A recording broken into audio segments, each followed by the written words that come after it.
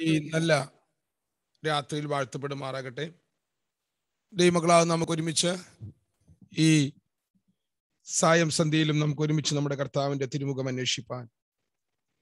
പ്രത്യേകിച്ച് നമ്മുടെ ഓൺലൈൻ മീറ്റിങ്ങുകളുടെ അഞ്ഞൂറ്റി പതിനാറാമത്തെ ദിവസം നമുക്ക് ഒരുമിച്ച് ഇങ്ങനെ കർത്താവിന്റെ സന്നിധിയിലായിരിക്കാൻ സർവശക്തനായ കർത്താവ് നമ്മുടെ ജീവിതത്തിൽ ഒരുക്കി തന്ന അനുഗ്രഹീതമായ നല്ല സന്ദർഭങ്ങളെ ഓർത്ത് ഞാൻ നന്ദിയോടെ കർത്താവിനെ സ്തുതിക്കുകയും വാഴ്ത്തുകയും ചെയ്യുന്നു. പ്രത്യേകിച്ച് ഇന്ന് രാത്രിയിൽ വളരെ സമയമെടുത്ത് നമുക്ക് ഒരുമിച്ച് കർത്താവിനെ ആരാധിപ്പാൻ മഹത്വപ്പെടുത്തുവാൻ പ്രാരംഭ സമയത്ത് കർത്താവ് കൃപ നൽകിയല്ലോ. പ്രത്യേകിച്ച് പ്രിയ വിനിൽ സ്റ്റീഫൻ ദൈവദാസനായ സ്തോത്രം. തന്റെ ജോലിയോടുള്ള ബന്ധത്തിൽ താൻ തിരക്കിലായിരിക്കുമ്പോൾ തന്നെയാണ് കഴിഞ്ഞ മൂന്ന് ദിവസങ്ങൾ നിരന്തരം താൻ ഓടി വന്ന് നമ്മുടെ നടുവിൽ ശുശ്രൂഷിപ്പാനായിട്ട് കർത്താവ് സാവകാശം നൽകിയത്.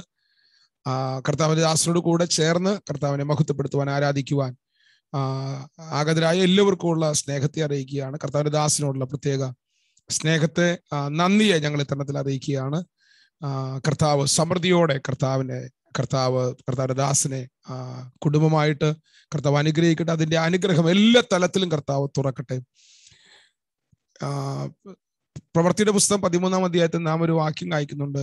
അവർ അഞ്ചു പേർ ഒരുമിച്ചിരുന്ന് കർത്താവിനെ ശുശ്രൂഷിച്ചപ്പോൾ ആരാധിക്കുകയും ഉപവസിക്കുകയും ചെയ്തപ്പോൾ ഭൂഖണ്ഡങ്ങളെ ശുശ്രൂഷിക്കുന്ന ഭൂഖണ്ഡങ്ങളെ ദൈവരാജ്യത്തിനു വേണ്ടി തുറക്കുന്ന ശക്തമേറിയ ദൈവിക ഇടപെടലുകൾ വെളിപ്പെടാൻ തുടങ്ങി. നമ്മൾ ചിന്തിക്കുന്ന ചിന്തകൾക്കപ്പുറം നമ്മുടെ നടുവിൽ പ്രവർത്തിക്കുന്ന ഒരു ദൈവ സാന്നിധ്യമുണ്ട് ദൈവാത്മാവുണ്ട്.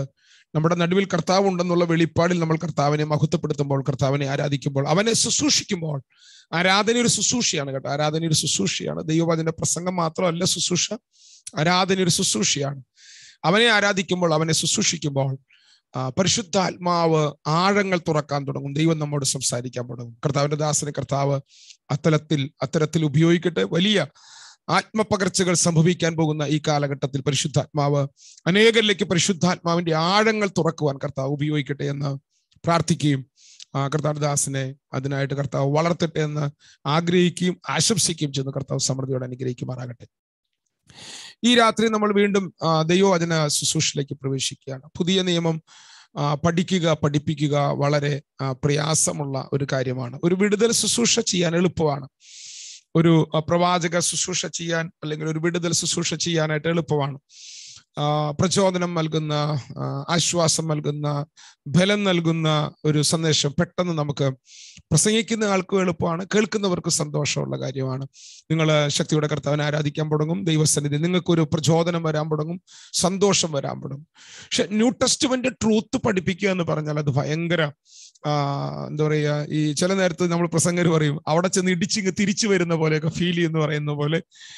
അത് നിങ്ങളിങ്ങനെ നിർവിചാരികളായിരിക്കുന്ന കാണുമ്പോൾ അല്ലെങ്കിൽ ആ, താല്പര്യമില്ലാതിരിക്കുന്നതൊക്കെ കാണുമ്പോൾ പാസ്റ്റേഴ്സിന്റെ അകത്തുണ്ടാകുന്ന ഫീലിംഗ് ആണ്. പക്ഷെ എല്ലാറ്റിന്റെ പുറകിലും ദൈവാത്മാവിന്റെ ചലനങ്ങൾ ഉള്ള കൃപകൾക്കായിട്ട് ഞാൻ നന്ദിയോടെ സ്തോത്രം ചെയ്യുന്നു. കഴിഞ്ഞ പകൽ നമുക്ക് മൂന്ന് അനുഗ്രഹീത സാക്ഷ്യങ്ങൾ കേൾപ്പാനായിട്ട് കർത്താവ് കൃപ നൽകി.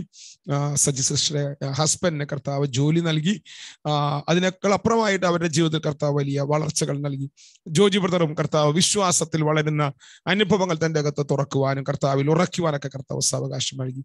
ലിനി സിസ്റ്റർ ഈ ഈ മീറ്റിംഗിൽ കൂടെയാണ് ഷലോമിന്റെ മീറ്റിംഗ് ആണ് തന്നെ വ്യക്തമായി രൂപീകരിച്ചത് എന്ന സാക്ഷ്യം നമ്മൾ കഴിഞ്ഞ പകൽ കേട്ടല്ലോ. താൻ കണ്ട കാഴ്ചകൾ പലതും പറഞ്ഞിട്ടില്ല. പല കാഴ്ചകൾ ഇനി പറയാനുണ്ട്. കർത്താവിന്റെ മേശ സംബന്ധിച്ച കാഴ്ച തങ്കത്ര കത്രമേശ എടുക്കില്ലായിരുന്നു ആദ്യം. കാരണം തന്റെ അകത്ത് അങ്ങനെ ചിന്തയുണ്ടായിരുന്നു. ഒടുവിൽ കർത്താവ് നേരിട്ട് കാണിച്ചു കൊടുത്തിട്ടാണ് താൻ കർത്താവിന്റെ മേശ എടുക്കുന്നത്.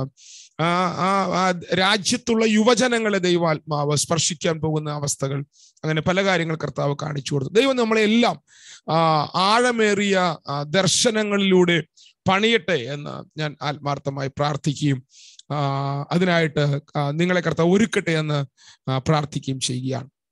നമ്മൾ ഇന്ന് രാത്രി ഇന്നലെ രാത്രി പറഞ്ഞതിന്റെ ബാക്കി ഭാഗം വേഗതയിൽ നമ്മൾ ധ്യാനിക്കാൻ പോവുകയാണ്. ഇന്നൊരു സെക്ഷനും നാളെ ഒരു പകൽ സെക്ഷനുമാണ് നമ്മൾ ഇത് ചിന്തിക്കുവാനായിട്ട് താല്പര്യപ്പെടുന്നത്. നാളെ രാത്രി കർത്താന്റെ ദാസൻ ഷാൻ പാഷൻ നമ്മുടെ നടുവിലുണ്ട്. മറ്റന്നാൾ മുതൽ രണ്ട് ദിവസം കർത്താന്റെ ദാസൻ ബിജി അഞ്ചൽ നമ്മുടെ നടുവിൽ ശുശ്രൂഷിക്കാനായിട്ടുണ്ട്. ഒരു വ്യക്തി പോലും സെക്ഷനുകൾ കളയാതിരിക്കുന്നത് നല്ലതാണെന്നുള്ള കാര്യം ഓർപ്പിക്കുന്നു. നമ്മൾ ഇന്നലെ പഠിച്ചത് ഇന്നലെ നമ്മൾ ധ്യാനിച്ചത് നമ്മൾ ദൈവസന്നിധിയിൽ കാത്തിരിക്കുമ്പോൾ നമ്മുടെ മേൽ വെളിപ്പെടുന്ന നമ്മുടെ മുറിയിൽ വെളിപ്പെടുന്ന ദൈവ സാന്നിധ്യം നമുക്ക് തുറക്കുന്ന ഏഴ് അവസ്ഥകളാണ് പറഞ്ഞത്.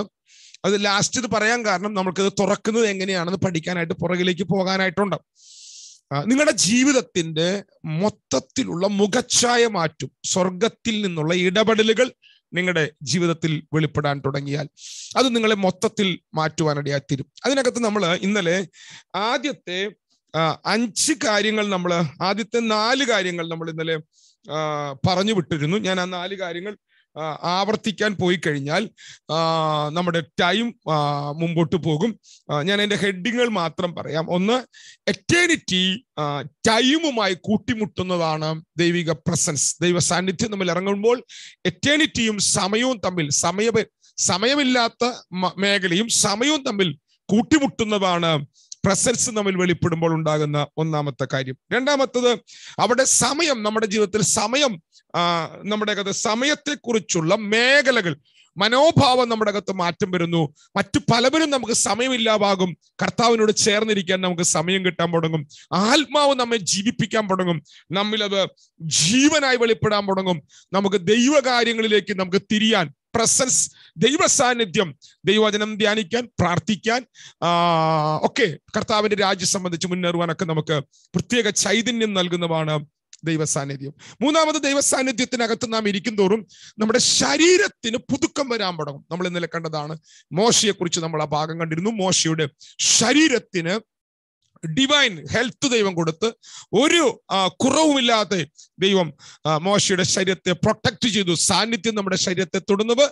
ആ സാന്നിധ്യം അവന്റെ പ്രസൻസ് ആണ് അവന്റെ ഗ്ലോറിയാണ് അവന്റെ പ്രസൻസ് ആണ്. ആ ഗ്ലോറിയിൽ നിന്ന് ഊതിയ ഊത്താണ് നമ്മുടെ ശരീരത്തെ ഘടനയിലേക്ക് എത്തിച്ചത്. അപ്പൊ നമ്മൾ അതിനകത്തിരുന്നാലോ? ഹേ അപ്പൊ നമ്മൾ അവനകത്തിരുന്നാൽ അവനകത്തിരുന്നാൽ ഈ ശരീരത്തിന്റെ പ്രശ്നം മൊത്തം മാറാൻ തുടങ്ങും. അപ്പൊ അതുകൊണ്ട് സാന്നിധ്യത്തിനകത്ത് ഇരിക്കുന്നവർ നമ്മുടെ ബോഡിക്ക് മാറ്റം വരും. നമ്മൾ അവിടെ ഒരു പദം കണ്ട് യഹോവയെ കാത്തിരിക്കുന്നവർ ശക്തിയെ പുതുക്കും. ഞാൻ അതൊന്നുമല്ല ഇന്ന് പകൽ ഇന്ന് രാത്രിയിലേക്ക് വരുന്നവർ ഈ പ്രധാനപ്പെട്ട ഒരു ഭാഗത്തേക്ക് നമ്മൾ വരികയാണ്. നാലാമത് നമ്മൾ കണ്ടത് നമ്മുടെ അകത്തെ മനുഷ്യൻ ആന്തരിക മനുഷ്യൻ പുതുക്കപ്പെടും. അകത്തെ മനുഷ്യൻ പുതുക്കപ്പെടും. ഇങ്ങനെയുള്ള പ്രധാനപ്പെട്ട നാല് കാര്യങ്ങളാണ് നമ്മൾ ഇന്നലെ രാത്രി അല്പം വിശദമായിട്ട് നമ്മൾ കണ്ടുപിടി കാണാനിടയായിട്ടത്. ഇനി അഞ്ചാമത്തെ പ്രധാനപ്പെട്ട ഒരു പോയിന്റിൽ ഇന്ന് നിൽക്കണമെന്നാണ് ഞാൻ ചിന്തിക്കുന്നത്. ഇത് നിങ്ങൾ എല്ലാവരും അറിയേണ്ട ഒരു കാര്യമാണ്. എല്ലാവരും അറിയുകയും മനസ്സിലാക്കുകയും പഠിക്കുകയും ചെയ്യേണ്ട കാര്യമാണ്. കഴിയുന്നവരൊക്കെ ഉണ്ടെങ്കിൽ നിങ്ങളുടെ വീഡിയോകൾ ഓൺ ചെയ്ത് നിങ്ങളെ കണ്ടിരിക്കുന്നത് എനിക്ക് ഒരു സന്തോഷമുള്ള കാര്യമാണ്. ഞാൻ പണ്ട് കാലത്ത് കാട്ടിൽ ജീവിച്ചതുകൊണ്ട് കാട്ടിൽ മനുഷ്യർ കുറവായിരുന്നു. കാട്ടിനകത്ത് ഞാൻ ആദ്യം എന്റെ ചെറുപ്രായത്തിൽ കാട്ടിലായിരുന്നു. അപ്പൊ കാട്ടിൽ അപ്പച്ചൻ സുവിശേഷകാല നിമിത്തം അപ്പച്ചനെ വീട്ടിൽ നിന്ന് ഇറക്കി വിട്ടപ്പോൾ ഞങ്ങൾ പോയി താമസിച്ച് കാട്ടിലാണ്. അപ്പൊ കാട്ടിൽ മനുഷ്യരൊന്നുമില്ല. അപ്പൊ ചെറുപ്രായത്തിൽ മനുഷ്യരെ കാണാതെയാണ്. രണ്ടു വർഷത്തെ കാര്യമാണ് ഈ പറഞ്ഞത് കേട്ടോ. അപ്പം അപ്പൊ ഇപ്പൊ എനിക്ക് മനുഷ്യരെ കാണുന്നതോട് ഒരു കുഴപ്പമില്ല മനുഷ്യരെ കാണാൻ ഇഷ്ടമാണ്. പ്രത്യേകിച്ച് നിങ്ങളെ ശുശ്രൂഷിക്കുമ്പോൾ നിങ്ങളെ കണ്ട് ശുശ്രൂഷിക്കും നല്ലതാണ്. അങ്ങനെയെങ്കിലും ഒരാൾ ഓൺ ചെയ്യട്ടെ. എന്ന് വിചാരിച്ച് പറഞ്ഞതാണ്. ഓക്കെ നമ്മൾ ഇതിനകത്ത് പ്രധാനപ്പെട്ട അഞ്ചാമത്തെ പോയിന്റിലേക്ക് വരികയാണ്. ഈ അഞ്ചാമത്തെ പോയിന്റ് ആണ് നമ്മുടെ വ്യക്തിത്വത്തെ നമ്മുടെ ക്രിസ്തീയ ജീവിതത്തെ ആഴത്തിൽ മാറ്റിയെടുക്കുന്നത് ആഴത്തിൽ മാറ്റിയെടുക്കുന്നത്. നമ്മുടെ പ്രകൃതി രൂപം നമ്മുടെ കാഴ്ചപ്പാടൊക്കെ മാറ്റുന്നത് ഈ ആറാമത്തെ അഞ്ചാമത്തെ ഘടകമാണ്. അഞ്ചാമത്തെ ഘടകം ഞാൻ ഇന്നലെ പറഞ്ഞിരുന്നു നമ്മുടെ മനസ്സിനകത്ത് വെളിപ്പാടുകൾ സ്വീകരിക്കാൻ തുടങ്ങും. റെവലേഷനുകൾ സ്വീകരിക്കാൻ തുടങ്ങും. നമുക്ക് വെളിപ്പാടുകൾ കിട്ടാൻ തുടങ്ങും. വചനം ദൈവത്തിന്റെ വചനം നമ്മുടെ അകത്ത് അറിവാകുന്നത് കർത്താവ് നമുക്ക് വേണ്ടി ചെയ്ത കാര്യങ്ങൾ നമുക്ക് ലഭ്യമാകുന്ന കാര്യങ്ങൾ ലഭ്യമായ കാര്യങ്ങൾ അറിവാകുന്ന തലത്തിൽ നിന്ന് അത് നമ്മുടെ അകത്ത് വെളിപ്പാടുകളായി മാറും. അത് നമ്മുടെ അകത്ത് റെവലേഷനുകളായി മാറും. വെളിപ്പാടുകളായി മാറും. ഞാൻ ആ വെളിപ്പാടുകളെ കുറിച്ച് ഒന്ന് രണ്ട് കാര്യങ്ങൾ ഇന്നലെ നിങ്ങളുടെ നിങ്ങളുടെ അകത്ത് പറഞ്ഞിരുന്നു.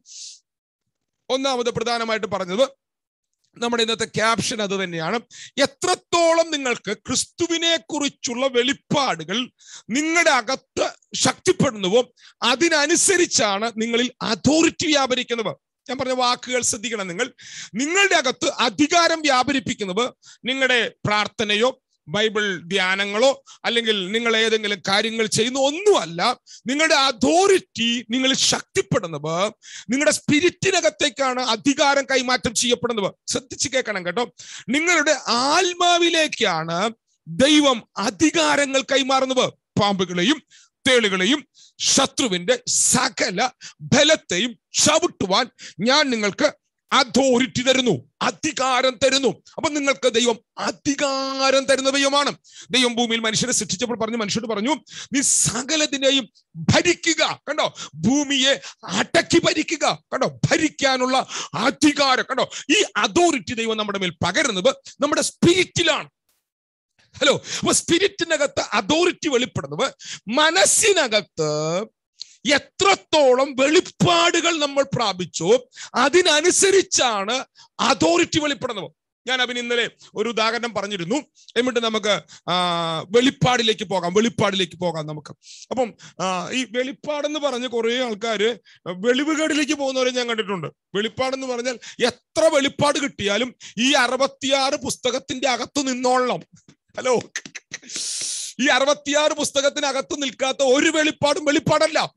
എനിക്ക് ഞാൻ അങ്ങനെ സംസാരിച്ചപ്പോൾ എന്നോട് പല ഞാൻ കണ്ടമാനം ഗ്രൂപ്പുകളായിട്ട് ഡിസ്കഷൻ നടത്തിയിട്ടുണ്ട് കേട്ടോ. വാദപ്രതിവാദങ്ങൾ ഒക്കെ നടത്തിയിട്ടുണ്ട്. അത് എന്തിനാന്ന് ചോദിച്ചു കഴിഞ്ഞാൽ ഒരു ഒരു ഒരു ഒരു ഡിവൈൻ ട്രൂത്തിനെ ദൈവാത്മാവ് ഈ കാലഘട്ടത്തിൽ തുറക്കുമെന്ന് എനിക്കറിയാം.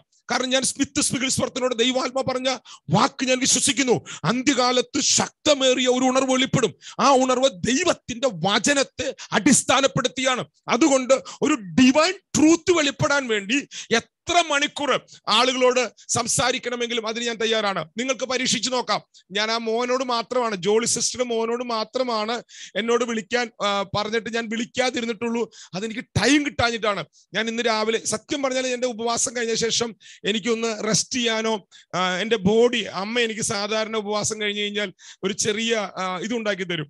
അത് ഉണ്ടാക്കാൻ അമ്മയുടെ അടുത്ത് നിന്ന് പോകാനോ അതൊന്ന് കഴിക്കാനോ ഈ ഉപവാസം കഴിഞ്ഞ ശേഷം ഒരു ദിവസം എനിക്ക് റെസ്റ്റ് കിട്ടാനോ ഒരു നല്ല ഭക്ഷണം കഴിക്കാൻ പറ്റിയിട്ടില്ല. നല്ല ഭക്ഷണം ഭക്ഷണം ഇല്ലാതെ ആരും അത് പറഞ്ഞ ആരും വരരുത് കേട്ടോ. ഒരു വാക്ക് പറയാൻ പേടിയാ. അപ്പോ ഞാൻ പറഞ്ഞത് ശരീരത്തെ ഒന്ന് ശ്രദ്ധിക്കാൻ പറ്റിയിട്ടില്ല. അപ്പൊ ഭയങ്കര ഇന്ന് ഉച്ച കഴിഞ്ഞാൽ രണ്ട് വീട്ടിൽ ചെല്ലാൻ വേണ്ടി പെട്ടെന്ന് പകൽ മീറ്റിംഗ് കഴിഞ്ഞപ്പോൾ ഭയങ്കരമായി ക്ഷീണം വന്ന് ഞാൻ അങ്ങ് തളർന്നു കിടന്നു. അല്ലെ ഇന്ന് ഉച്ച കഴിഞ്ഞാൽ മോനെ വിളിക്കാമെന്ന് വിചാരിച്ചുമായിരുന്നു അപ്പൊ ശ്രദ്ധിക്കുക വേട് പറയുക എന്ന് പറഞ്ഞാൽ എനിക്ക് ഹാരമാണ് ബൈബിളിൽ നിന്നുള്ള സംശയങ്ങൾ ബൈബിളിൽ നിന്നുള്ള അതിപ്പോ ഞാൻ തീർക്കണ്ട. എന്നോട് ചോദിക്കാൻ ഇപ്പൊ ഞാൻ ഈ മീറ്റിംഗിൽ കയറുന്നവരെ ഒരു എന്താ പറയുക ദൈവദാസി പാസ്റ്റർ വൈഫും ഞാനും തമ്മിൽ സംസാരിച്ചുകൊണ്ടിരിക്കുകയായിരുന്നു കർത്താവിന്റെ മേശയെ കുറിച്ച് അപ്പം ഞാൻ പറഞ്ഞു വന്നൊരു സാരാംശം. അപ്പൊ വെളിപ്പാടുകൾ ദൈവത്തിന്റെ വചനം സോറി നമ്മുടെ മനസ്സിനകത്തുണ്ടാകുന്ന രൂപാന്തരമാണ് നമ്മുടെ സ്പിരിറ്റിനകത്ത് വെളിപ്പാടായി മാറുന്നത്. സോറി അതോറിറ്റിയായി മാറുന്നത്. ഞാൻ ഒന്നുകൂടെ പറയാം. മനസ്സിനകത്തുണ്ടാകുന്ന രൂപാന്തരങ്ങൾ നമ്മുടെ മനസ്സിനകത്ത് ഡിവൈൻ റെവലേഷനുകളെ പകരും. ഓക്കെ ആ റെവലേഷനുകളാണ് നമ്മുടെ സ്പിരിറ്റിനകത്ത് വെളിപ്പാടുകളായി മാറുന്നത്. ആ ഞാൻ പറഞ്ഞു വന്ന കാര്യം അങ്ങനെ ഞാൻ കണ്ടമാനം ഗ്രൂപ്പുകൾ ഇവിടെ ഇന്ന് നിങ്ങളെ അറിയപ്പെടുന്ന ഒട്ടുമിക്ക ഗ്രൂപ്പുകളുമായിട്ട് ഞാൻ സംസാരിച്ചിട്ടുണ്ട്. സംസാരിച്ചതിൽ നിന്ന് അപ്പം സംസാരിച്ചിട്ടാണ് ഞാൻ നിങ്ങളോട് സംസാരിക്കുന്നത്. അപ്പൊ അതിനകത്ത് ചില ആൾക്കാർ ചില ഞങ്ങൾക്ക് ഇപ്പൊ കിട്ടിയ വെളിപ്പാടെന്ന് പറഞ്ഞു വരാറുണ്ട്. ഇപ്പൊ അങ്ങനെ കിട്ടും? വെളിപ്പാട് കിട്ടും പക്ഷെ അത് ബൈബിളിന്റെ അടിസ്ഥാനമില്ലാത്തതാണെങ്കിൽ അത് ശ്രദ്ധിക്കണമെന്നുള്ള കാര്യം ഓർപ്പിച്ചുകൊണ്ട് ഞാൻ ഈ ബൈബിൾ പറയുന്ന വെളിപ്പാടിലേക്ക് വരികയാണ്. ബൈബിൾ പറയുന്ന വെളിപ്പാടിലേക്ക് വരികയാണ്. ഓക്കെ ഇനി നിങ്ങൾ ശ്രദ്ധിക്കേണ്ട കാര്യം പൗലോ പത്രോസ് കർത്താവ് പറഞ്ഞ വാക്കിൽ നമുക്ക് തുടങ്ങാം. കർത്താവ് പറഞ്ഞു ബെറിയോനായ ഷിമോനെ ജഡരക്തങ്ങളല്ല സ്വർഗസ്ഥനായ എന്റെ പിതാവത്രേ നിനക്ക് ഇത് വെളിപ്പെടുത്തി തന്നവ. ഏത് വെളിപ്പെടുത്താൻ നോമ്പ്? യേശു ആരാണെന്ന് വെളിപ്പെടുത്തി കിട്ടിയത് പിതാവ് തുറന്നു കൊടുത്തതാ നമ്മുടെ അറിവ് കൊണ്ട് നമ്മുടെ പഠനം കൊണ്ട് നമ്മുടെ കഴിവ് കൊണ്ട് ഒന്നും നമുക്ക് ക്രിസ്തുവിനെ ഗ്രഹിക്കാൻ പറ്റില്ല. മനസ്സിലാകുന്നുണ്ട് നിങ്ങൾക്ക് ക്രിസ്തുവിനെ അറിയാൻ പറ്റില്ല. എനിക്ക് വേണമെങ്കിൽ എന്റെ വൈഫിന് വേണമെങ്കിൽ കഴിഞ്ഞ ദീർഘവർഷം എന്റെ കൂടെ ജീവിച്ചുകൊണ്ട് എന്നെ അത്യാവശ്യം വേണേ അറിയാൻ പറ്റും. പക്ഷേ നിങ്ങൾക്ക് ഒരിക്കലും നിങ്ങളുടെ അറിവ് കൊണ്ടും കഴിവ് കൊണ്ടും ഗ്രഹിക്കാൻ കഴിയുന്ന വ്യക്തിത്വമല്ല ക്രിസ്തു. ക്രിസ്തുവിനെ കുറിച്ച് നിങ്ങൾക്ക് അറിയണമെങ്കിൽ പിതാവ് തന്നെ അവന്റെ ആത്മാവിനാൽ നിങ്ങൾക്ക് വെളിപ്പെടുത്തി തരണം. ഇത് വെളിപ്പെട്ട് കിട്ടിയാൽ നിങ്ങളുടെ മേൽ അതോറിറ്റി ചലിക്കാൻ തുടങ്ങും രാമ്യം പറഞ്ഞു ശക്തിയോട് രാമ്യം പറഞ്ഞു നിങ്ങൾക്ക് ക്രിസ്തുവിനെ എത്രത്തോളം വെളിപ്പെട്ട് കിട്ടുന്നുവോ അത്രത്തോളം നിങ്ങളിൽ അതോറിറ്റി വെളിപ്പെടാൻ തുടങ്ങും. അപ്പോൾ നോക്കി ഒരു അന്തികാല ഉണർവിൽ നമുക്ക് രോഗങ്ങളുടെ മേൽ അധികാരം കിട്ടണം. അന്തികാല ഉണർവിൽ നമുക്ക് അടിമത്തങ്ങളുടെ മേൽ നമുക്ക് അധികാരം കിട്ടണം. പട്ടണത്തിലെ ജനവർഗങ്ങളുടെ മേൽ നമുക്ക് അധികാരം കിട്ടണം. ജാതികളുടെ മേൽ നമുക്ക് അധികാരം കിട്ടണം. അപ്പൊ അധികാരങ്ങൾ ഏതൊക്കെ മേഖലകളിൽ വെളിപ്പെടണമോ നാം അത്രത്തോളം ക്രിസ്തുവിനെ കുറിച്ചുള്ള വെളിപ്പാടിൽ വളരണം. ക്രിസ്തുവിനെ കുറിച്ചുള്ള മിസ്റ്ററികളിൽ നാം വളരുമ്പോഴാണ് നമ്മുടെ നോക്കി നമ്മളുടെ നമ്മുടെ സ്പിരിറ്റിൽ അധികാരം വ്യാപരിക്കുന്നവ അതോറിറ്റി വ്യാപരിക്കുന്നത് പത്രോസിന്റെ കർത്ത പറഞ്ഞു ബെറിയവനായ ശിമോനെ ജഡരക്തങ്ങളല്ല സ്വർഗസ്ഥനായ പിതാപത്തിന് നിനക്ക് വെളിപ്പെടുത്തി തന്നു. എന്നിട്ട് പറഞ്ഞു നിങ്ങൾ ഭൂമിയിൽ കെട്ടുന്നവ സ്വർഗത്തിൽ കെട്ടപ്പെട്ടിരിക്കും. ശ്രദ്ധിക്കുന്നുണ്ടോ നിങ്ങൾ? നിങ്ങൾക്ക് ക്രിസ്തുവിനെ കുറിച്ചുള്ള വെളിപ്പാട് കിട്ടിയാൽ നിങ്ങളുടെ കൊച്ചു വീട്ടിനകത്തിരുന്ന് നിങ്ങൾ പറയുന്ന വാക്കുകൾക്ക് സ്വർഗം അവിടെ സൈൻ വെക്കുമെന്ന് അതിന്റെ അർത്ഥം. നീ കെട്ടിയാൽ സ്വർഗം കെട്ടിയല്ല. മനസ്സിലാകുന്നുണ്ടെങ്കിൽ ആമ്യം പറയണം. മനസ്സിലാകുന്നവർ ആമ്യം പറയണം. നിന്റെ വീട്ടിലിരുന്ന് നീ കെട്ടിയാൽ പിശാജ് നിനക്ക് നേരെ തുറന്നു വിട്ടവം നിന്റെ തലമുറയ്ക്ക് മേരെ കുടുംബത്തിന് മേരെ പട്ടണത്തിനകത്ത് ഓ പിശാജ് തുറക്കുന്നവനെ കെട്ടാൻ വെളിപ്പാട് കിട്ടിയവന്റെ മേൽ സ്വർഗം അധികാരം പങ്കിടുക. എന്തോ സ്വർഗമാണ് ഈ സ്വർഗം സ്വർഗമല്ല ആദ്യം കെട്ടുന്നത്. നമ്മളാണ് ആദ്യം കെട്ടുന്നത്. നിങ്ങൾ നിങ്ങൾ ഭൂമിയിൽ കെട്ടിയാൽ സ്വർഗത്തിൽ കെട്ടപ്പെട്ടിരിക്കും.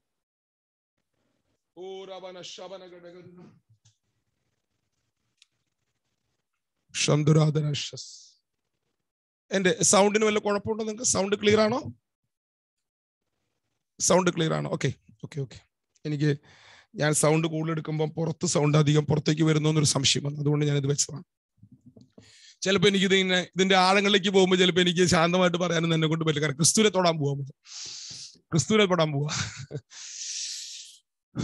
ക്രിസ്തുവിനെ തൊടുമ്പോൾ ആവേശത്തോടു കൂടി അല്ലാതെ തൊടാൻ പറ്റുകയല്ല. നമ്മുടെ ശരീരം മൊത്തം എന്താ പറയാ പ്രതികരിക്കാൻ തുടങ്ങും ക്രിസ്തുവിനോട്. കാരണം നമുക്ക് അങ്ങോട്ട് വരാം അങ്ങോട്ട് വരാം അങ്ങോട്ട് വരാം. അപ്പം അപ്പൊ നമ്മൾ ആ ഭാഗത്ത് നമുക്കൊരു ഒരു ഒരു ഒരു താക്കോൽ കിട്ടി നമുക്ക്. താക്കോൽ എന്താന്ന് ചോദിച്ചു കഴിഞ്ഞാൽ ക്രിസ്തുവിനെ കുറിച്ചുള്ള വെളിപ്പാട് കിട്ടുമ്പോൾ കർത്താവ് പറഞ്ഞു പൗലോസ് പത്രോസിന് പറഞ്ഞു പത്രോസ് നിങ്ങൾ ഭൂമിയിൽ കെട്ടിയ നീ ഭൂമിയിൽ കെട്ടിയാൽ സ്വർഗത്തിൽ കെട്ടപ്പെട്ടിരിക്കും. കണ്ടോ? അതോറിറ്റി വ്യാപരിക്കാം. എന്നിട്ട് പറഞ്ഞു? ഞാൻ താക്കോലുകൾ നിനക്ക് തരിക. സ്വർഗരാജ്യത്തിന്റെ താക്കോൽ. അതിന്റെ അർത്ഥം നിനക്ക് തുറക്കാനും അടയ്ക്കാനും ഞാൻ അധികാരം തരിക.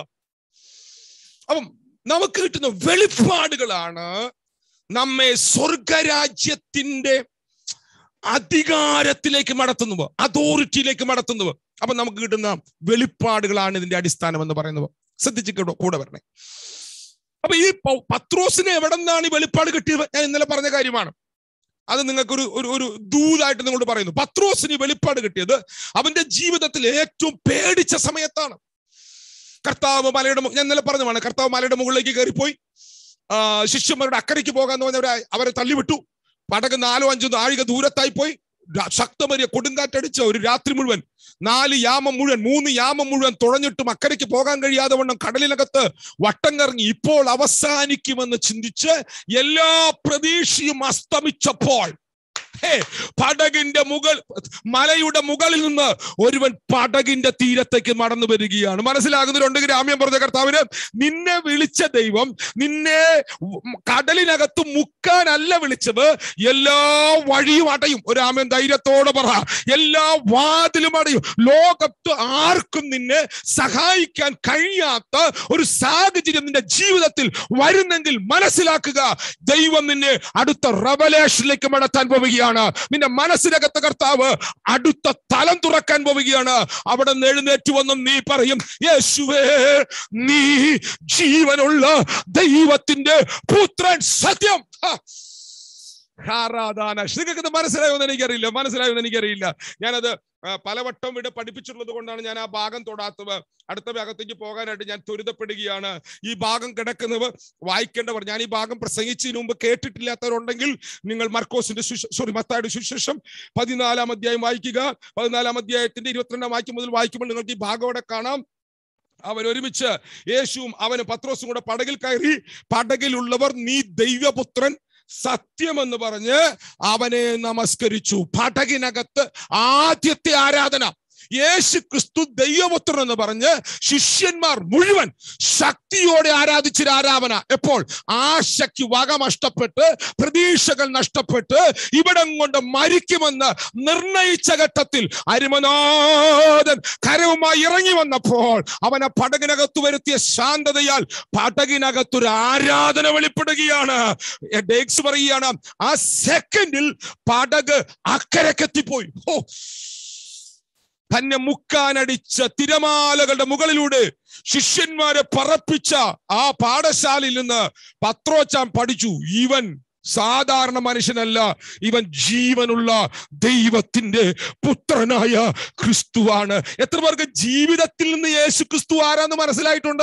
അങ്ങനെ മനസ്സിലായവരുണ്ടെങ്കിൽ രാമ്യം പറ കർത്താവിന് ബൈബിൾ കുത്തിപ്പിടിച്ച് പഠിച്ച കാര്യമല്ല ഞാൻ ഈ പറയുന്നത്. ബൈബിൾ സ്കൂളിൽ പഠിച്ച കാര്യമല്ല ഞാൻ പറയുന്നത്. സർട്ടിഫിക്കറ്റുകളുടെ കാര്യമല്ല ഞാൻ പറയുന്നത്. ജീവിതത്തിൽ ജീവിതാനുഭവങ്ങളുടെ മടുവിൽ ആർക്കും ഇറങ്ങി വരുവാൻ കഴിയാത്ത സാഹചര്യത്തിൽ ഇറങ്ങി വന്ന് എന്നെ കരുതിയ എന്നെ വിടുവിച്ച എന്നെ സഹായിച്ച സഹായത്തിന്റെ ഹസ്തത്താൽ എന്റെ അകത്തൊരു വെളിപ്പാട് പതിഞ്ഞു. യേശു ജീവനുള്ള ദൈവത്തിന്റെ പുത്രനായ ക്രിസ്തുവാണ്. ഹല്ലേലൂയ ഈ വെളിപ്പാട് നിങ്ങളുടെ അകത്തേക്ക് പകരാനാണ് നിങ്ങൾ വളരെ വേദനിച്ച പല സന്ദർഭങ്ങളുടെയും ദൈവാത്മാവ് നിങ്ങളെ കടത്തിവിട്ടത്. അവിടെ അറിഞ്ഞോ അറിയാതെയോ പറ്റിയൊരു അബദ്ധമുണ്ട്. പലരും ഇങ്ങനെയുള്ള അവസ്ഥ കൂടെ കടന്നു വരുമ്പോൾ കട ദൈവം കടന്നു പോകാൻ അനുവദിക്കുമ്പോൾ ഉടൻ തന്നെ മൂന്ന് ദിവസം ഉപവാസ പ്രാർത്ഥന വയ്ക്കും. ഏതെങ്കിലും ദൈവദാസനെ വിളിച്ച് ആ കാറ്റിനെയും ആ കടലിനെയും അവർ ശാന്തമാക്കും. ഉണ്ടാകുന്ന കുഴപ്പം വെളിപ്പാടകത്ത് പതിയപ്പെടുകയില്ല. ദയവ് ചെയ്ത് പ്രശ്നങ്ങളിൽ നിന്ന് രക്ഷപ്പെടാനുള്ള പ്രാർത്ഥനകൾ ഉപവാസ പ്രാർത്ഥനകൾ അവസാനിപ്പിക്കുക. മനസ്സിലാകുന്നവരുണ്ടെങ്കിൽ കരം വീശി. ഞാൻ പറഞ്ഞത് ഞാൻ ഒറ്റവാക്കൊക്കെ പറഞ്ഞു വിടുമ്പോൾ എനിക്ക് പേടിയാ. ഞാൻ ഈ പറയുന്ന കാര്യം അങ്ങനെ തന്നെ മനസ്സിലാകുന്നുണ്ടോ എന്ന്. ദൈവം അറിയാതെ ഒരു കാര്യവും നമ്മുടെ ജീവിതത്തിൽ വരുന്നില്ല. അവന്റെ മടുവിൽ അവൻ നമുക്ക് വേണ്ടി അസാധാരണമായ അറിവുകൾ വെളിപ്പാടുകൾ അവൻ നമ്മുടെ അകത്ത് നൽകുവാൻ വിശ്വസ്തനായ ദൈവമാണ്. കരമുയർത്തി രാമ്യം പറ ശക്തിയുടെ കർത്താവിന്. അത് ഏത് വന്നാലും കൊറോണ വന്നാലും മറോണ വന്നാലും ചറോണ വന്നാലും പെറോണ വന്നാലും എന്ത് വന്നാലും ദൈവം മരണത്തിന്റെ താഴ്വയിലേക്കൂടെ നടക്കാൻ നമ്മെ അനുവദിക്കുന്നവർ അവൻ ആരാണെന്നുള്ള വെളിപ്പാട് തരാനാണ്. നീ അവന്റെ നടുവിൽ ഒതുങ്ങില്ല. നീ അതിന്റെ നടുവിൽ പുത്തൻ പുത്തൻ അധികാരത്തോടെ നീ പുറത്തു വരാൻ തുടങ്ങും. ഓക്കെ അപ്പൊ നമ്മൾ ഈ ബേസിൽ നിന്നുകൊണ്ട് ഒന്ന് രണ്ട് കാര്യങ്ങൾ നമ്മൾ ധ്യാനിക്കാൻ പോവുകയാണ്. നിങ്ങളിലേക്ക് ഭർത്താവ് നിങ്ങളുടെ മനസ്സിനകത്ത് നിങ്ങളുടെ മനസ്സിനകത്ത് ഉണ്ടാകുന്ന വെളിപ്പാടുകളാൽ കർത്താവ് നിങ്ങളുടെ അതോറിറ്റിയെ വലുപ്പപ്പെടുത്താൻ പോവുകയാണ്. ഏ അന്തികാല ഉണർവിൽ ഉണ്ടാകേണ്ട ഏറ്റവും വലിയ ഘടകം എന്താ ഭയങ്കര അധികാരം വെളിപ്പെടണം. ശക്തമേറിയ അത്ഭുതങ്ങൾ മടക്കണം. രോഗികൾ സൗഖ്യമാകണം. കൂട്ടമായ വിടുവൽ മടക്കണം. ഞാൻ കണ്ടിട്ടുണ്ട് കൈ വീശുമ്പോൾ ജനവർഗങ്ങൾ ജനങ്ങൾ ദൈവത്തിങ്കിലേക്ക് കൂട്ടം കൂട്ടമായി ഗ്രാമങ്ങൾ ഇളകി വരുന്ന കാഴ്ച ഞാൻ കണ്ടിട്ടുണ്ട്. പതിനായിരങ്ങൾ ഇരുപതിനായിരങ്ങൾ അമ്പതിനായിരങ്ങൾ ഒരുമിച്ച് കർത്താവിനെ ആരാധിക്കുന്ന ആരാധനകൾ കണ്ടിട്ടുണ്ട്. ഞാൻ എന്റെ കണ്ണുകൊണ്ട് കണ്ട കാര്യം പറയുന്നവ ഈ ഈ പട്ടണം മുഴുവൻ യേശുവിനെ അറിയുന്നവ ഞാൻ കണ്ടിട്ടുണ്ട്. അപ്പൊ നോക്കിയാൽ ഇങ്ങനെയുള്ള മേഖലകൾ തുറന്നു വരണമെങ്കിൽ നമ്മിൽ അധികാരം വ്യാപരിക്കണം. നമ്മിൽ അതോറിറ്റി വ്യാപരിക്കണം. നമ്മൾ അധികാരം വ്യാപരിക്കണമെങ്കിൽ നമുക്ക് ക്രിസ്തു ആരാണെന്നുള്ള വെളിപ്പാട് കിട്ടണം. ഓക്കെ അപ്പോൾ നമ്മുടെ അകത്തുണ്ടാകുന്ന വെളിപ്പാടുകൾ ശ്രദ്ധിച്ചെന്റെ കൂടെ പറഞ്ഞേ വെളിപ്പാടുകൾ നമ്മുടെ ജീവിതത്തെ മാറ്റും. മിനിഞ്ഞാന്നും കൂടെ ഞാനൊരു വീട്ടിൽ ചെന്നപ്പോൾ ഒരാൾ ഓ അങ്ങനെയൊന്നും ബൈബിൾ പറഞ്ഞ പോലെ ഒന്നും ജീവിക്കാൻ പറ്റില്ല. കർത്താവിന് കൂടെ ജീവിക്കാൻ പറ്റും. ഭാര്യയും ഭർത്താവും ഭാര്യ മക്കളും കുട്ടികളും ഉണ്ടെങ്കിൽ ആ, ആ, ബൈബിൾ പറഞ്ഞ പോലെ ജീവിക്കാൻ പറ്റില്ല. ദൈവത്തോടു കൂടെ ജീവിക്കാനൊന്നും പറ്റില്ല. എന്ന് പറഞ്ഞു. ഞാൻ ചോദിച്ചാ അച്ഛാ നല്ല ഈ മർത്തോമയിലെ അച്ഛനാണ്. അച്ഛൻ നന്നായിട്ട് ബൈബിൾ അറിയാവുന്ന അച്ഛനാണ്. ഞാൻ ചോദിച്ചാച്ച എന്റെ അപ്പച്ചനെ നന്നായിട്ട് അറിയുന്ന ഒരു ബ്രദറാണ്. അപ്പം പാസ്റ്റർമാരെ കണ്ടാൽ ഒന്ന് തോണ്ടുക എന്നുള്ള ചിന്തയുള്ള ആൾക്കാർ പലരുണ്ടല്ലോ. അപ്പൊ തോണ്ടാൻ വന്നാൽ പിന്നെ എനിക്കൊരു കുഴപ്പമുണ്ട്. തോണ്ടാൻ വന്നാൽ വെറുതെ തോണ്ടൽ കൊണ്ട് പോരൂല്ല. ബൈബിളിൽ നിന്ന് തോണ്ടാൻ വന്നാൽ തിരിച്ചു മറുപടി പറയാതെ പോരുന്ന ഒരു ഞാൻ എത്തിയിട്ടില്ല. അപ്പോ എന്നെ തോണ്ടാൻ വന്നപ്പോ ഞാൻ പറഞ്ഞു അച്ഛാ അങ്ങനെയല്ലല്ലോ അച്ഛാ. ബൈബിൾ ആദ്യം തന്നെ തുടങ്ങുന്നത് ഹാനോക്ക് ദൈവത്തോടു കൂടെ നടന്നു എന്നൊരു വാക്യം ഞാൻ വായിച്ചിട്ടുണ്ടല്ലോ അച്ഛാ. ഹാന ഹാനോക്കിന് ഭാര്യ ഉണ്ടായിരുന്നു. കൊച്ചുണ്ടായി കഴിഞ്ഞപ്പോഴാണ് പുള്ളിക്കാരൻ ദൈവത്തോട് മടക്കാൻ തുടങ്ങിയതെന്നാ ഞാൻ ബൈബിളിൽ വായിച്ചത്. അപ്പൊ ഭാര്യ ഉണ്ട് മക്കളുണ്ടെങ്കിൽ ദൈവത്തോട് മടക്കാൻ പറ്റില്ലെന്ന് അച്ഛാൻ പറയുന്നത് ബൈബിളിന് വിരോധമല്ലേ? ഇത്രയും പ്രായമുള്ള മർത്തോമയിൽ ഇത്രയും ശക്തമായ വചനം പറയുന്ന അച്ഛൻ അങ്ങനെ പറയരുത്. അപ്പോഴാണ് അച്ഛൻ അങ്ങനെയുണ്ട് അങ്ങനെയുണ്ട്. അച്ഛൻ അങ്ങനെയുണ്ട് അങ്ങനെ പറഞ്ഞു. അപ്പൊ എന്റെ ചോദ്യം ഹാനൊക്കെ നിനക്കെങ്ങനെയാ ദൈവത്തോടുകൂടെ നടക്കാനായിട്ടുള്ള വെളിപ്പാട് കിട്ടിയത്? നിനക്ക് എങ്ങനെ സാധിച്ചു? നമ്മൾ വിചി നമ്മൾ വിചിന്തനം ചെയ്യേണ്ട കാര്യമല്ലേ? നമ്മുടെ കാലഘട്ടത്തിൽ അല്ല നമുക്ക് തത്തുല്യമായ ശരീരത്തിലൊരു മനുഷ്യൻ ദൈവത്തോടു കൂടെ മടന്നെങ്കിൽ നമുക്ക് നടക്കാമെന്നല്ലേ അതിന്റെ അർത്ഥം? ഓ ആരും ഉണ്ടെന്നില്ല ആരും ഉണ്ടെന്നില്ല ആരും ഉണ്ടെന്നില്ല ഇനി ഹാനോക്കിന് നമുക്കുണ്ടായ പ്രൊവിഷനുകൾ ഇല്ല ഞാൻ നമ്മുടെ പ്രൊവിഷൻ തൊടാൻ പോവാ. നമുക്ക് ലഭ്യമായ പ്രൊവിഷനുകൾ തൊടാൻ പോവുക ഈ പ്രൊവിഷനുകൾ ഒന്നുമില്ലാത്ത കാലത്ത് ജീവിച്ചിരുന്ന മനുഷ്യനായ ഹാനോക്ക് തന്റെ മകനെ ജനിപ്പിച്ച ശേഷം മുന്നൂറ് വർഷം അവൻ ദൈവത്തോട് കൂടെ ഹാനോക്കിന്റെ പുസ്തകത്തിൽ പറയുന്നത് അവന്റെ ബോഡി ട്രാൻസ്ലേഷനായി അവന്റെ ബോഡിയിൽ അവൻ ആകാശ നക്ഷത്ര നക്ഷത്രമണ്ഡലങ്ങളിലേക്ക് സ്വർഗത്തിന്റെ വാതിലുകളിലേക്ക് സ്വർഗത്തിലേക്ക് അവൻ എടുക്കപ്പെട്ടു എന്നാണ് അവൻ വിസിറ്റ് ചെയ്തു എന്നാണ് ഹാനോക്കിന്റെ പുസ്തകം പഠിപ്പിക്കുന്നത്. അപ്പൊ ഭൂമിയിൽ ഒരു മനുഷ്യന് ദൈവത്തിന്റെ കൂടെ മടക്കാൻ ഏ പൂർവയുഗത്തിൽ സാധിച്ചെങ്കിൽ നെഞ്ചെ തൊട്ട് പറ എനിക്കും പറ്റൂന്ന് പറ എനിക്കും പറ്റൂന്ന് പറ. എന്നെ അങ്ങനെ നട നിങ്ങൾ ആരും മിണ്ടുന്നില്ല. എന്നെ അങ്ങനെ നടത്താനാണ് എന്റെ കർത്താവ് എനിക്ക് വേണ്ടി മരിച്ചത്. എനിക്ക് ദൈവ എനിക്ക് ശിഷ്ടമായ ആയുസ് ദൈവത്തോട് കൂടെ നടക്കാൻ കഴിയും. Hallelujah hallelujah hallelujah hallelujah hallelujah ശ്രദ്ധിക്കൂ നിങ്ങൾ. എന്തുകൊണ്ടാണ് ഹാനോക്കിന് ദൈവത്തോട് കൂടെ മടക്കാൻ പറ്റുന്നത് ഞാൻ ഒറ്റ വാക്ക് പറഞ്ഞ് ഞാൻ ലേഖനത്തിലേക്ക് വേഗത്തിലൂടി വരികയാണ്. ഹാനോക്കിന് ഒരു മകൻ ജനിച്ചു. നമുക്ക് മക്കൾ ജനിക്കുമ്പോൾ നമ്മൾ എങ്ങനെ ഇടുന്നത്? മത്തായിയുടെ മായും ക്രിസ്റ്റീനയുടെ ക്രീയും ചേർത്ത് നമ്മൾ കൊച്ചിന്റെ പേരിടും. മാക്രി അപ്പന്റെ ആദ്യത്തെ പേരും കൊച്ചിന്റെ അമ്മയുടെ ആദ്യത്തെ പേരും ചേർത്താണ് ഒട്ടുമിക്ക മക്കളുടെ പേരും കിടക്കുന്നത്. ഞങ്ങളുടെ വീട്ടിൽ സാറാമയും ജോർജും കൂടെ ചേർന്നാണ് സജി വന്നത്. Saji Reji G G T G ജോസഫിന്റെ പേര് ഞാൻ ഇടേണ്ടിരുന്നത് അജി എന്നോ ഫിജി എന്നോ ഒക്കെ ആയിരുന്നു. ഞാൻ അങ്ങനെ ചിന്തിച്ചിരുന്നു. പക്ഷെ ദൈവാത്മാവ് ഒരു സിസ്റ്റർ എന്നോട് ചോദിച്ചു ലിജിയുടെ റെജി ലിജി ഉണ്ടല്ലോ. ലിജിയുടെ മമ്മി എന്നോട് ചോദിച്ചു പാസ്റ്റർ ഇങ്ങനെ ശുശ്രൂഷയൊക്കെ ചെയ്യുന്ന ആളല്ലേ? ലിജിയുടെ മമ്മിയാണ് അതിന് കാരണമായത്. എന്നോട് ചോദിച്ചു ജോസഫിന് എന്റെ മോൻ എന്താ പേരിടാൻ പോകുന്നത് അപ്പൊ ഞാൻ പറഞ്ഞു എന്റെ പേര് Saji Reji G G T G അപ്പൊ അജിയോ ഫിജിയോ കിടക്കട്ടെ എന്ന് ഞാൻ പറഞ്ഞു. അവിടെ തന്നെ ആന്റി ഉണ്ട് പറഞ്ഞു പാസ്റ്റർ പ്രാർത്ഥിച്ചോ എന്ന് ചോദിച്ചു. ലീലാമ്മ ചേച്ചി ചോദിച്ചു പാസ്റ്റർ പ്രാർത്ഥിച്ചു ഞാൻ പറഞ്ഞില്ല പ്രാർത്ഥിച്ചില്ല. പ്രാർത്ഥിച്ചു നോക്ക് ദൈവം വല്ലതും അങ്ങനെ ഇടാൻ ആഗ്രഹിക്കുന്നുണ്ടെങ്കിലോ? ഞാൻ അന്ന് രാത്രി ഞാൻ പ്രാർത്ഥിച്ചു കർത്താവിന്റെ കർത്താവെ മോൻ ഏതെങ്കിലും പേരിടാൻ നീ ആഗ്രഹിക്കുന്നുണ്ടോ? ഉണ്ടെങ്കിൽ എന്നെ അത് എനിക്ക് ദൈവം അന്ന് സ്വപ്നം കാണിക്കുന്ന ഒരു ഒരു കൃപ എനിക്ക് അന്നും കർത്താവ് എന്നോട് കാണിക്കാറുണ്ട്. അന്ന് രാത്രി കർത്താവ് എന്നെ സ്വപ്നം കാണിച്ചു. ജോസക്കിന്റെ തലയിൽ എനിക്ക് ലിൻസിയുടെ അപ്പച്ചന്റെ പേരറിയില്ല. കാരണം ലിൻസിയെ വീട്ടിൽ നിന്ന് ഇറക്കി പുറപ്പെ വീട്ടിൽ നിന്ന് ഇറക്കി വിട്ടതുകൊണ്ട് ഞങ്ങളുടെ കല്യാണത്തിന് വീട്ടുകാരും പങ്കെടുത്തിട്ടില്ല. അപ്പൊ ആങ്ങളുടെ വീട്ടിലാണ് ഞങ്ങൾ കിടക്കുന്നത്. കാണാൻ ചെന്നപ്പോ കാണണ്ടെന്ന് പറഞ്ഞ് പുറത്താക്കി വിട്ടു. അപ്പം അപ്പച്ചന്റെ പേര് ഞാൻ കേട്ടുള്ള കുഞ്ഞാപ്പി എന്നാണ്. ജോസഫ് എന്നുള്ള പേര് എനിക്കറിയില്ല. അപ്പം അന്ന് രാത്രി ഞാൻ ഒരു സ്വപ്നം കാണുകയാണ്. ലിൻസ് കൊച്ചിന്റെ തലയിൽ ജോസഫ് എന്ന് പേരെഴുതിയിരിക്കുന്നു എന്നിട്ട് ഞാൻ അവളോട് പറയുകയാണ് ലിൻസോട് പറയുകയാണ് നിന്റെ അപ്പച്ചന്റെ പേര് ജോസഫ് എന്നല്ലേ? നമുക്ക് അതിനോട് ചേർന്ന ഒരു പേരിടാം. എന്ന് ഞാൻ ലിൻസിയോട് പറയുകയാണ്. അപ്പൊ ഞാൻ രാവിലെ തന്നെ എഴുന്നേറ്റ് ഓടിച്ചെന്ന് ലിൻസിയോട് ചോദിച്ചു "ആ, ലിൻസി അപ്പ അപ്പ- അപ്പച്ചന്റെ പേര് ജോസഫ് എന്നാണെന്ന് ചോദിച്ചു. അപ്പൊ അവളോട് അതെ ലിൻസി ജോസഫ് എന്ന എന്റെ പേര് എന്റെ പേര്. അപ്പൊ ലിൻസി എന്ന് മാത്രം ഞാൻ ശ്രദ്ധിച്ചിട്ടുള്ളൂ. അപ്പം അപ്പൊ എന്റെ സ്വപ്നത്തിൽ എനിക്ക് അറിയാത്തൊരു കാര്യം ദൈവം വെളിപ്പെടുത്തി തന്നിട്ട് മകന്റെ പേര് ഇന്നത് ഇടണമെന്ന് കർത്താവ് എന്നോട് പറഞ്ഞു. അപ്പോ നമ്മൾ ദൈവത്തിൽ ആശ്രയിച്ചു പ്രാർത്ഥിച്ചപ്പം കേൾക്കുന്നുണ്ടോ നിങ്ങൾ? നമ്മുടെ തലമുറകൾക്ക് പേരിടാൻ ദൈവം ആഗ്രഹിക്കുന്ന പേരുകളുണ്ട്. ഹലോ നമ്മൾ ആശ്രയിക്കാത്തതുകൊണ്ടും നമ്മൾ പറയാത്തതുകൊണ്ടും ഇങ്ങനെ ഓരോ പേരുകളൊക്കെ വന്നു. മാക്രി ചാക്രി ബാക്രി ഇതൊക്കെ പേര് പല പല പേരുകൾ വന്നു. ഏത് പേരായാലും നല്ല പേരുകൾക്കൊക്കെ ആയിട്ട് ഞാൻ കർത്താവിന് സ്തോത്രം ചെയ്യുകയാണ്. അതിന്റെ പുറത്തൊന്നും ഇനിയിപ്പോ നിങ്ങൾ വിഷമിക്കേണ്ട. ആരോ ഒരാൾ ഈ ഞാൻ പറഞ്ഞു കഴിഞ്ഞപ്പോൾ അയ്യോ പാസ്റ്റർ നേരത്തെ പറഞ്ഞിരുന്നെങ്കിൽ ഞങ്ങളുടെ കൊച്ചുണ്ടാകുന്നൊക്കെ മുമ്പ് ഞാൻ പ്രാർത്ഥിക്കില്ലായിരുന്നു എന്ന് പറഞ്ഞു. ഇനിയിപ്പോ ആരും അതിനു വേണ്ടി ഉപസിച്ച് പ്രാർത്ഥിക്കുന്ന പേരും വേണ്ട. പേര് മാറ്റാനും പോണ്ട. കർത്താവ് അങ്ങനെ തന്നെ അതൊക്കെ അവിടെ നിർത്തട്ടെ. പക്ഷെ ഞാൻ പറഞ്ഞു വന്ന സാരാംശം ആ പേര് വന്നപ്പോൾ ഞാൻ ആ പേരിന്റെ ജോസഫ് എന്ന വാക്കിന്റെ അർത്ഥം വായിച്ചു. അർത്ഥം വായിച്ചപ്പോൾ കേതോസ് പാസ്റ്റയാണ് ഞാൻ സമീപിച്ചത്. ദൈവം നിന്നെ വർദ്ധിപ്പിക്കട്ടെ. എന്താണ് ആ പേരിന്റെ അർത്ഥം? ദൈവം അപ്പൊ നിങ്ങൾ ഓരോരുത്തരും ജോസക്കിനെ വിളിക്കുമ്പോൾ ഹലോ കേൾക്കുന്നുണ്ടോ? നിങ്ങൾ ജോസ് കൊണ്ട് പറഞ്ഞ മോനെ ജോസക്ക് ദൈവം നിന്നെ വർദ്ധിപ്പിക്കും. എന്റെ കർത്താവ് പത്തിരുന്നൂറ് പേര് അല്ലെങ്കിൽ മുന്നൂറ് പേരുള്ള ചർച്ചിനകത്ത് മുന്നൂറ് പേരും ജോസക്കിനെ വിളിക്കും. ജോസക്കെ ജോസക്കെ ജോസക്കെ എന്ന് വിളിക്കുമ്പോൾ എന്താ പറയുന്നത് നിങ്ങളൊക്കെ പറയുന്നത് മോനെ ദൈവം നിന്നെ വർദ്ധിപ്പിക്കും ദൈവം നിന്നെ വർദ്ധിപ്പിക്കും. ജോസക്കിന്റെ പപ്പയാണ് സജി എന്ന് പറയുമ്പോൾ നിങ്ങൾ എന്താ പറയുന്നത് ദൈവം വർദ്ധിപ്പിക്കുന്നവന്റെ അപ്പനാണ് സജി. അപ്പൊ അങ്ങനെ ദൈവം പേരുകൾക്ക് വെച്ച അർത്ഥങ്ങളെ ഓർത്ത് ഞാൻ ദൈവത്തിന് സ്തോത്രം ചെയ്യുകയാണ്. അങ്ങനെ ഹാനോക്കിന് ഒരു കൊച്ചു ജനിച്ചു. കൊച്ചു ജനിച്ചപ്പോൾ നമ്മുടെ ആൾക്കാരിടുന്ന പോലെ പേര് അവരിടുകയില്ല അവർ പ്രാർത്ഥിച്ച ദൈവാത്മാവിനാലേ പേരിടുകയുള്ളൂ. അപ്പോൾ ഹാനോക്ക് ദൈവത്തോട് പ്രാർത്ഥിച്ചപ്പോൾ കൊച്ചിനിടാൻ കിട്ടിയ പേര് മെതുശലഹ് എന്നാണ്. ഇവൻ മരിച്ചാൽ അത് വരും. അയ്യോ ഇവൻ മരിച്ചാൽ അത് വരും. ഈ പദ ആ പേരിന്റെ അർത്ഥം അതാണ്. ഇവൻ മരിക്കുന്നതോടുകൂടെ ഈ ഭൂമിയിൽ വലിയ ചിലത് വരാൻ പോകുന്നു. ഒരു വലിയ ന്യായവിധി വരാൻ പോകുന്നു. കണ്ടോ? അപ്പൊ ന്യായവിധി ഇവന്റെ മരണത്തോടെ ഈ ഭൂമിയിൽ വെളിപ്പെടാൻ പോകുന്ന ന്യായവിധിയെ കുറിച്ചുള്ള വെളിപ്പാടകത്ത് കിട്ടിയപ്പോൾ ആ നോക്ക് തീരുമാനിച്ചു ഇനി ഞാൻ ഈ ലോകത്തോട് ചേർന്ന് ജീവിക്കില്ല. ഏ സംഭവിക്കാൻ പോകുന്നതിനോടുള്ള വെളിപ്പാടുകൾ നാം ദൈവത്തിൽ നിന്ന് പ്രാപിക്കുമ്പോൾ നമ്മുടെ ഇഷ്ടങ്ങൾ മാറും. ആരും അമേനൊന്നും പറയുന്നില്ല. നമ്മുടെ ലക്ഷ്യങ്ങൾ മാറും. നമ്മുടെ ഇഷ്ടങ്ങൾ മാറും. നമ്മുടെ ആഗ്രഹങ്ങൾ മാറും. നമുക്ക് ഇഷ്ടമുണ്ടെന്നേ നമ്മൾ മനുഷ്യരല്ലേ? ഈ മനുഷ്യ ശരീരത്തിൽ ജീവിക്കുമ്പോൾ നമുക്ക് ആഗ്രഹങ്ങളുണ്ട് ജഡത്തിന്റെ ഇഷ്ടങ്ങളുണ്ട് ജഡത്തിന്റെ ആഗ്രഹങ്ങളുണ്ട്. പക്ഷേ ഇവിടെ സംഭവിക്കാൻ പോകുന്ന കാര്യങ്ങൾ ദൈവത്തിൽ നിന്ന് വെളിപ്പാടുകൾ കിട്ടുമ്പോൾ വെളിപ്പാട് കിട്ടുന്നവന്റെ പ്രകൃതി മാറുകയാണ്. അവൻ തീരുമാനിച്ചു.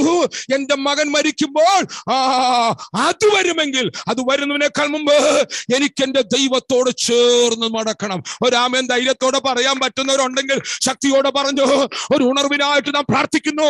അന്ത്യകാല അനുഭവങ്ങൾ ദൈവാത്മാവ് തുറക്കുന്നു. നാം പ്രാർത്ഥിക്കുമ്പോൾ നമുക്ക് ചുറ്റുമുള്ള പട്ടണങ്ങളിൽ നമുക്ക് ചുറ്റുമുള്ള രാജ്യങ്ങളിൽ നമ്മുടെ കുടുംബങ്ങളിൽ പരിശുദ്ധാത്മാവ് ചെയ്യാൻ പോകുന്നവ കാണിക്കുമ്പോൾ നമ്മൾ ഒന്നുകൂടെ വെളിപ്പാടുള്ളവരായി നാം അവനോട് ചേർന്ന് മടക്കുകയാണ്. നമുക്ക് പറ്റും നമുക്ക് പറ്റും. പാപത്തെ ജയിക്കാൻ പറ്റും. ഒന്ന് ആമ്യം പറയാമെങ്കിൽ പറഞ്ഞു പാപത്തെ ജയിക്കാൻ കഴിയോ? ലോകത്തെ ജയിക്കാൻ കഴിയോ? വിഷാദിനെ ജയിക്കാൻ കഴിയോ? അവന്റെ കോട്ടകളെ ഇടിച്ച് പൊളിച്ച് ദൈവരാജ്യ മഹിമ രാജ്യങ്ങളിൽ സ്ഥാപിക്കുവാൻ നമുക്ക് കഴിയും. വെളിപ്പാടുള്ളവൻ പ്രകൃതിയെ ജയിക്കും. വെളിപ്പാടുള്ളവൻ കാലഘട്ടത്തെ ജയിക്കും. വെളിപ്പാടുള്ളവൻ ന്യായവതിയിൽ അവൻ ജയിക്കപ്പെട്ടിരിക്കും. അവൻ വളരും അവൻ വളരും അവൻ വളരും അവൻ വളരും അവൻ വളരും. ഹാരോക്ക് ദൈവത്തോടുകൂടെ മടക്കാൻ തുടങ്ങി. അവന്റെ അകത്തുണ്ടായ ഒരു വെളിപ്പാടാണ്.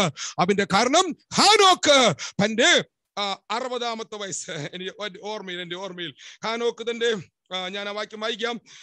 ഹാനോക്ക് സോറി അറുപത്തഞ്ച് വയസ്സായപ്പോൾ അവൻ മെതുശലകനെ ജനിപ്പിച്ചു. മെതുശലകനെ ജനിപ്പിച്ച ശേഷം ഹാനോക്ക് മുന്നൂറ് സവത്സരം ദൈവത്തോടു കൂടെ മടന്നു കൊച്ചിനെ ജനിപ്പിച്ച ശേഷം അവന് പിന്നെ പണ്ട് മടന്ന പോലെ മടക്കാൻ പറ്റുന്നില്ല. ആമ്യം പറയാൻ പറ്റുന്നുണ്ടെങ്കിൽ പറഞ്ഞു. ഒന്ന് വായിക്കാമോ? ആരെങ്കിലും ആ വാക്യം ഒന്ന് വായിക്കാമോ?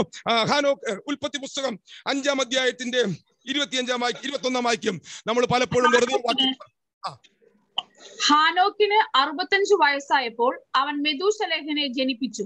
അദ്ദേഹത്തെ ജനിപ്പിച്ച ശേഷം ഹാനോക്ക് മുന്നൂറ് സംവത്സരം ദൈവത്തോടു കൂടെ നടക്കുകയും പുത്രന്മാരെയും പുത്രിമാരെയും ജനിപ്പിക്കുകയും ചെയ്തു. ഹാനോക്കിന്റെ പുസ്തകമുണ്ട്. ഇപ്പൊ ഇതിനകത്ത് ഇപ്പൊ ചോദിക്കല്ലേ? ഇപ്പൊ ചോദിച്ചാൽ ഞാൻ അങ്ങോട്ട് പോകും. നിങ്ങൾ എന്നോട് പ്രൈവറ്റ് ആയിട്ട് ചോദിച്ചാൽ ഞാൻ നിങ്ങൾക്ക് ഹാനോക്കിന്റെ പുസ്തകം അയച്ചു തരാം. വായിക്കാൻ പറ്റുന്നവർക്ക് വേണമെങ്കിൽ ആ, സമയമുള്ളവർ ഉണ്ടെങ്കിൽ ആ, കാണാൻ വേണ്ടി മേടിക്കരുത് എന്റെ അടുത്ത് ഫ്രീ ആയിട്ട് ഞാൻ അയച്ചു തരാം. ഹാനോക്കിന്റെ പുസ്തകമുണ്ട്. ഓക്കെ അപ്പൊ ഹാനോക്ക് മുന്നൂറ് സവത്സരം ദൈവത്തോട് മടക്കുകയും പുത്രന്മാരും പുത്രിമാരും എന്നിട്ടും ജനിപ്പിച്ചു. അപ്പൊ കുടുംബ ജീവിതം ദൈവത്തോടുകൂടെ മടക്കുന്നതിന് വിരോധമല്ല. മക്കളുണ്ടെങ്കിലും കൊച്ചുമക്കളുണ്ടെങ്കിലും ഭാര്യ ഉണ്ടെങ്കിലും ഭർത്താവ് ഉണ്ടെങ്കിലും നമുക്ക് ദൈവത്തോടുകൂടെ നടക്കാമെന്ന് തെളിയിച്ച മനുഷ്യനാണ് ഹാനോക്ക്. എന്നിട്ട് എന്നിട്ട് എന്നിട്ട് എന്നിട്ട്.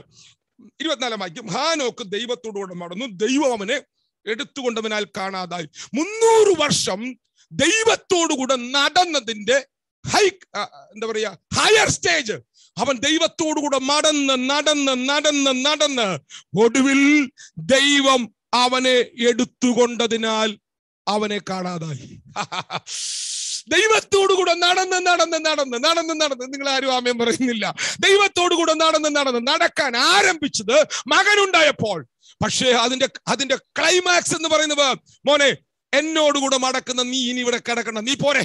ദൈവം അവനെ അങ്ങ് സ്വർഗത്തിലേക്ക് എടുത്തു. മരണം കൂടാതെ സ്വർഗത്തിലേക്ക് എടുക്കപ്പെട്ടവർ രണ്ടുപേരാണ്. ഒന്ന് ഹാനോക്ക് മറ്റൊന്ന് ഏലിയാവ്. ഹാനോക്ക് ദൈവത്തോടു കൂടെ നടന്ന് നടന്ന് മക്കളെ ജനിപ്പിച്ച് തലമുറകളെ ജനിപ്പിച്ച് ഒടുവിൽ ഒടുവിൽ ഒടുവിൽ അവൻ അവൻ ദൈവത്തോട് കൂടെ ചേർക്കപ്പെട്ടു. സ്വർഗം അവനെ സ്വർഗത്തിലേക്ക് എടുത്തു. ഒറ്റവാക്ക് അവിടുന്ന് മനസ്സിലാക്കുക. ഈ ഭൂമിയിൽ നമുക്ക് ദൈവത്തോടു കൂടെ നടക്കാം. ദൈവ സ്വഭാവത്തിൽ നമുക്ക് നടക്കാം. ഒരു ആമയക്കാരം ഉയർത്തി പറയാൻ പറ്റുന്നവരുണ്ടെങ്കിൽ പറഞ്ഞു ഒരു ഒരു ഒരു ഒരു ഒരു ദൂതായിട്ട് നിങ്ങളുടെ അകത്ത് കിടക്കട്ടെ. വെളിപ്പാടുകളുണ്ടോ? നിങ്ങൾക്ക് അവനോട് കൂടെ ചേർന്ന് മടക്കാം. ഹലലുയ്യ അപ്പൊ നിങ്ങളിലേക്ക് വെളിപ്പാടുകൾ പകരാൻ ദൈവം ആഗ്രഹിക്കുന്നു. നമ്മുടെ വിഷയം അതാണ്. അപ്പൊ ദൈവത്തോടുകൂടെ മടക്കണമെങ്കിൽ എന്ത് വേണം? ദൈവത്തോടുകൂടെ മടക്കണമെങ്കിൽ വെളിവുകേട് കിട്ടിയാ പോരാ. അറിവ് പോരാ. ദൈവത്തോടുകൂടെ മടക്കണമെങ്കിൽ നിങ്ങളുടെ അകത്ത് വെളിപ്പാട് ഉണ്ടാകണം അപ്പൊ വെളിപ്പാടുകൾ പകരാനാണ് ദൈവ സാന്നിധ്യം ദൈവത്തിന്റെ പ്രസൻസ് നിങ്ങളുടെ മുറിയിൽ ഇറങ്ങി വരുന്നത്. നിങ്ങൾ ആരാധിച്ചില്ലേ? നിങ്ങൾ പ്രാർത്ഥിച്ചില്ലേ? അഭിഷക്തന്മാർ ശുശ്രൂഷിച്ചില്ലേ? നിങ്ങളുടെ മുറിയിൽ സാന്നിധ്യം ഇറങ്ങുന്നത് ദൈവ സാന്നിധ്യം എറ്റേണിറ്റി ടൈമുമായി കൂട്ടിമുട്ടുന്ന എൻകൗണ്ടർ മടക്കുന്നത് നിങ്ങളിലേക്ക് വെളിപ്പാട് വരാനാണ്.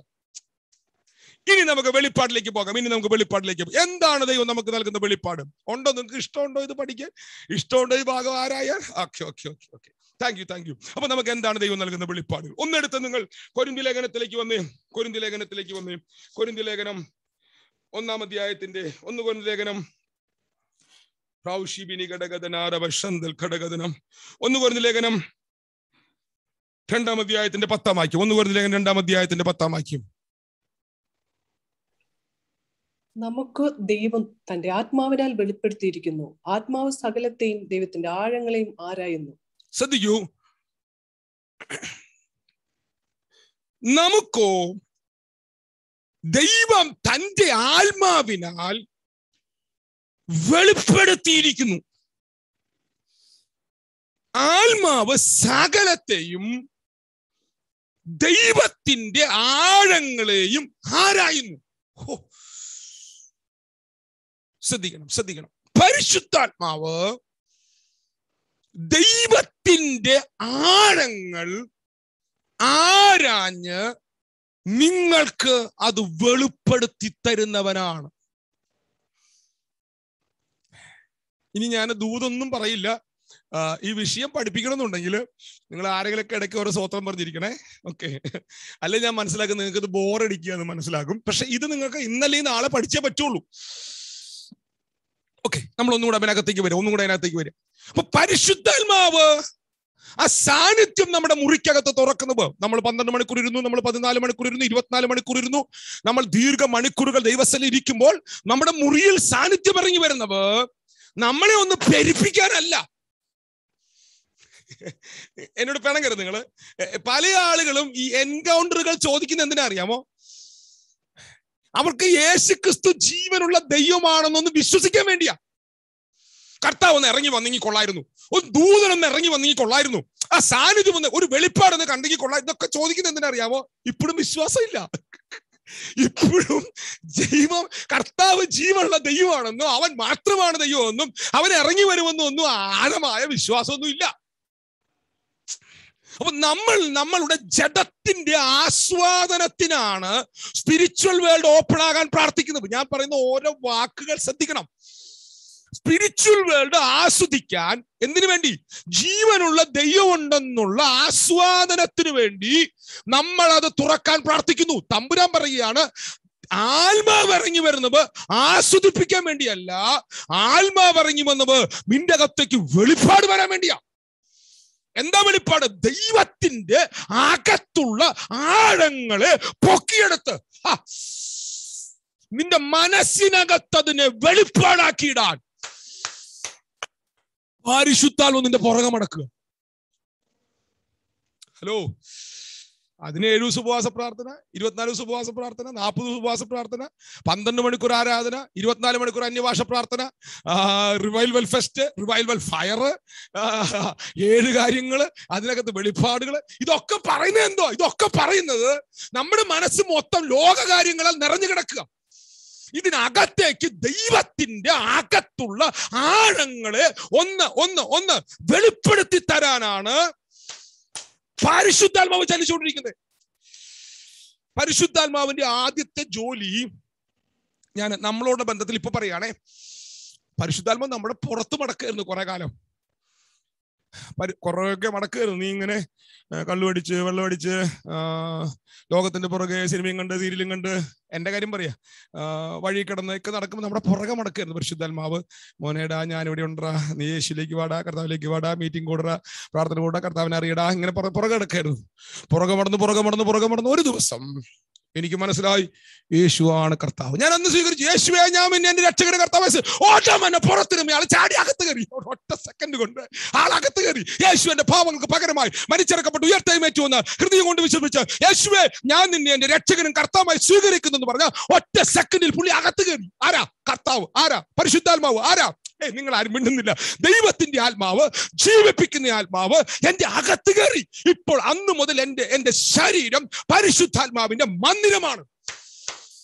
ഒരാമ്യം പറ. ട്രൂത്തുകളോടൊന്ന് പ്രതികരിക്കാൻ പഠിക്കും. ഒരാമ്യം ശക്തിയോടെ പറ കർത്താവിന് അന്ന് മുതൽ എന്റെ ശരീരം ദൈവത്തിന്റെ ആത്മാവിന്റെ മന്ദിരമായി. അപ്പൊ അതുവരെ അകത്ത് കയറാനുള്ള വെപ്രാളവർ ഞാൻ പരിശുദ്ധാത്മാവിന്റെ ഭാഗത്ത് നിന്ന് പറയാം. അതുവരെ പരിശുദ്ധാത്മാവെ ഞാൻ ഇങ്ങനെയൊക്കെ പറഞ്ഞതിനോട് ക്ഷമിക്കണം. മനസ്സിലാക്കാൻ വേണ്ടി പറഞ്ഞു. ആളെന്നൊക്കെ പറയുന്നത് അങ്ങയെ ഞാൻ സ്നേഹിക്കുന്നു അങ്ങയെ ഞാൻ ആരാധിക്കുന്നു. എന്റെ പ്രസംഗ ഭാഷയെ പറയുന്നതാണ്. നിനക്കറിയാലോ? അപ്പൊ പരിശുദ്ധാത്മാവ് എന്റെ പുറകെ കിടക്കായിരുന്നു ട്രാൻസ്പോർട്ട് സ്റ്റാൻഡിൽ കിടക്കുമ്പോൾ റെയിൽവേ സ്റ്റേഷനിൽ കിടക്കും മോനെ ഇതൊന്നും ഇവിടെ ഒന്നും കിടക്കണവൻ അല്ലടാ നീ. നീ വാടാ മോനെ വാടാ മോനെ വാടാ മോനെ എന്ന് പറഞ്ഞ എന്റെ പുറകെ മടന്ന് പുറകെ മടന്ന് പുറകെ മടന്ന് ഒരു ദിവസം എന്റെ അകത്ത് കത്തി. ആർക്കും സഹായിക്കാൻ കഴിയാതെ വണ്ണമുള്ള ജീവിതത്തിന്റെ വലിയ വേദന മടിവിലേക്ക് തള്ളപ്പെട്ടപ്പോൾ അതിന്റെ മടിവിൽ വെച്ച് എനിക്ക് മനസ്സിലായി. ഇനി യേശുവല്ലാതെ ശരണം വേറെ ആരുമില്ല അന്ന് ഞാൻ എന്റെ വാ കർത്താവോട് പ്രാർത്ഥിച്ചപ്പോൾ അന്ന് മുതൽ അവൻ എന്റെ ആകത്തിരിക്കാൻ തുടങ്ങി. ഇനി അകത്ത് വന്ന പരിശുദ്ധാത്മാവിന്റെ ജോലി എന്താ അറിയോ അന്ന് മുതൽ അകത്ത് വന്ന പരിശുദ്ധാത്മാവിന്റെ ജോലി നമ്മൾ ഈ പാമ്പൊക്കെ ഏതെങ്കിലും പൊത്തി കയറി പോയി കഴിഞ്ഞാൽ നമ്മളെ പാമ്പിനെ പുറത്ത് കിടത്താൻ വേണ്ടി അതിനകത്തേക്ക് നമ്മൾ ഈ എന്താ പറയാ പുക കത്തിച്ചു വിടും. പുക അല്ല തീ കത്തിച്ച് പുക കയറ്റി വിടും. അപ്പൊ പുകയകത്ത് കത്തിക്കഴിഞ്ഞ് കത്തി കഴിഞ്ഞ് പുക നിറഞ്ഞു കഴിയുമ്പോൾ പാമ്പ് പുറത്തു വരും. എന്നതുപോലെ പരിശുദ്ധാത്മാവ് അകത്ത് കയറി പുകച്ചാലൊന്നുമല്ല പുറത്തു വരും. പരിശുദ്ധാത്മാവ് അകത്ത് കയറിയിരിക്കുന്നത് മറഞ്ഞിരിക്കാനല്ല. പരിശുദ്ധാത്മാവ് അകത്ത് വന്നിരിക്കുന്നത് നിന്റെ അകത്തേക്ക് മനസ്സിലേക്ക് നിന്റെ ഹൃദയത്തിലേക്ക് ദൈവത്തിന്റെ ആഴങ്ങൾ വെളിപ്പെടുത്തണം. ആദ്യത്തെ ജോലി നിന്നെ ക്രൂശിലേക്ക് മടത്തുകയായിരുന്നു. ക്രൂശിൽ നീ അവനെ രക്ഷകനും കർത്തമായ യേശുവിനെ സ്വീകരിച്ചപ്പോൾ ഇനി പരിശുദ്ധാത്മാവിന്റെ ജോലിയും അവൻ നിന്റെ മനസ്സിനെ രൂപപ്പെടുത്തുക.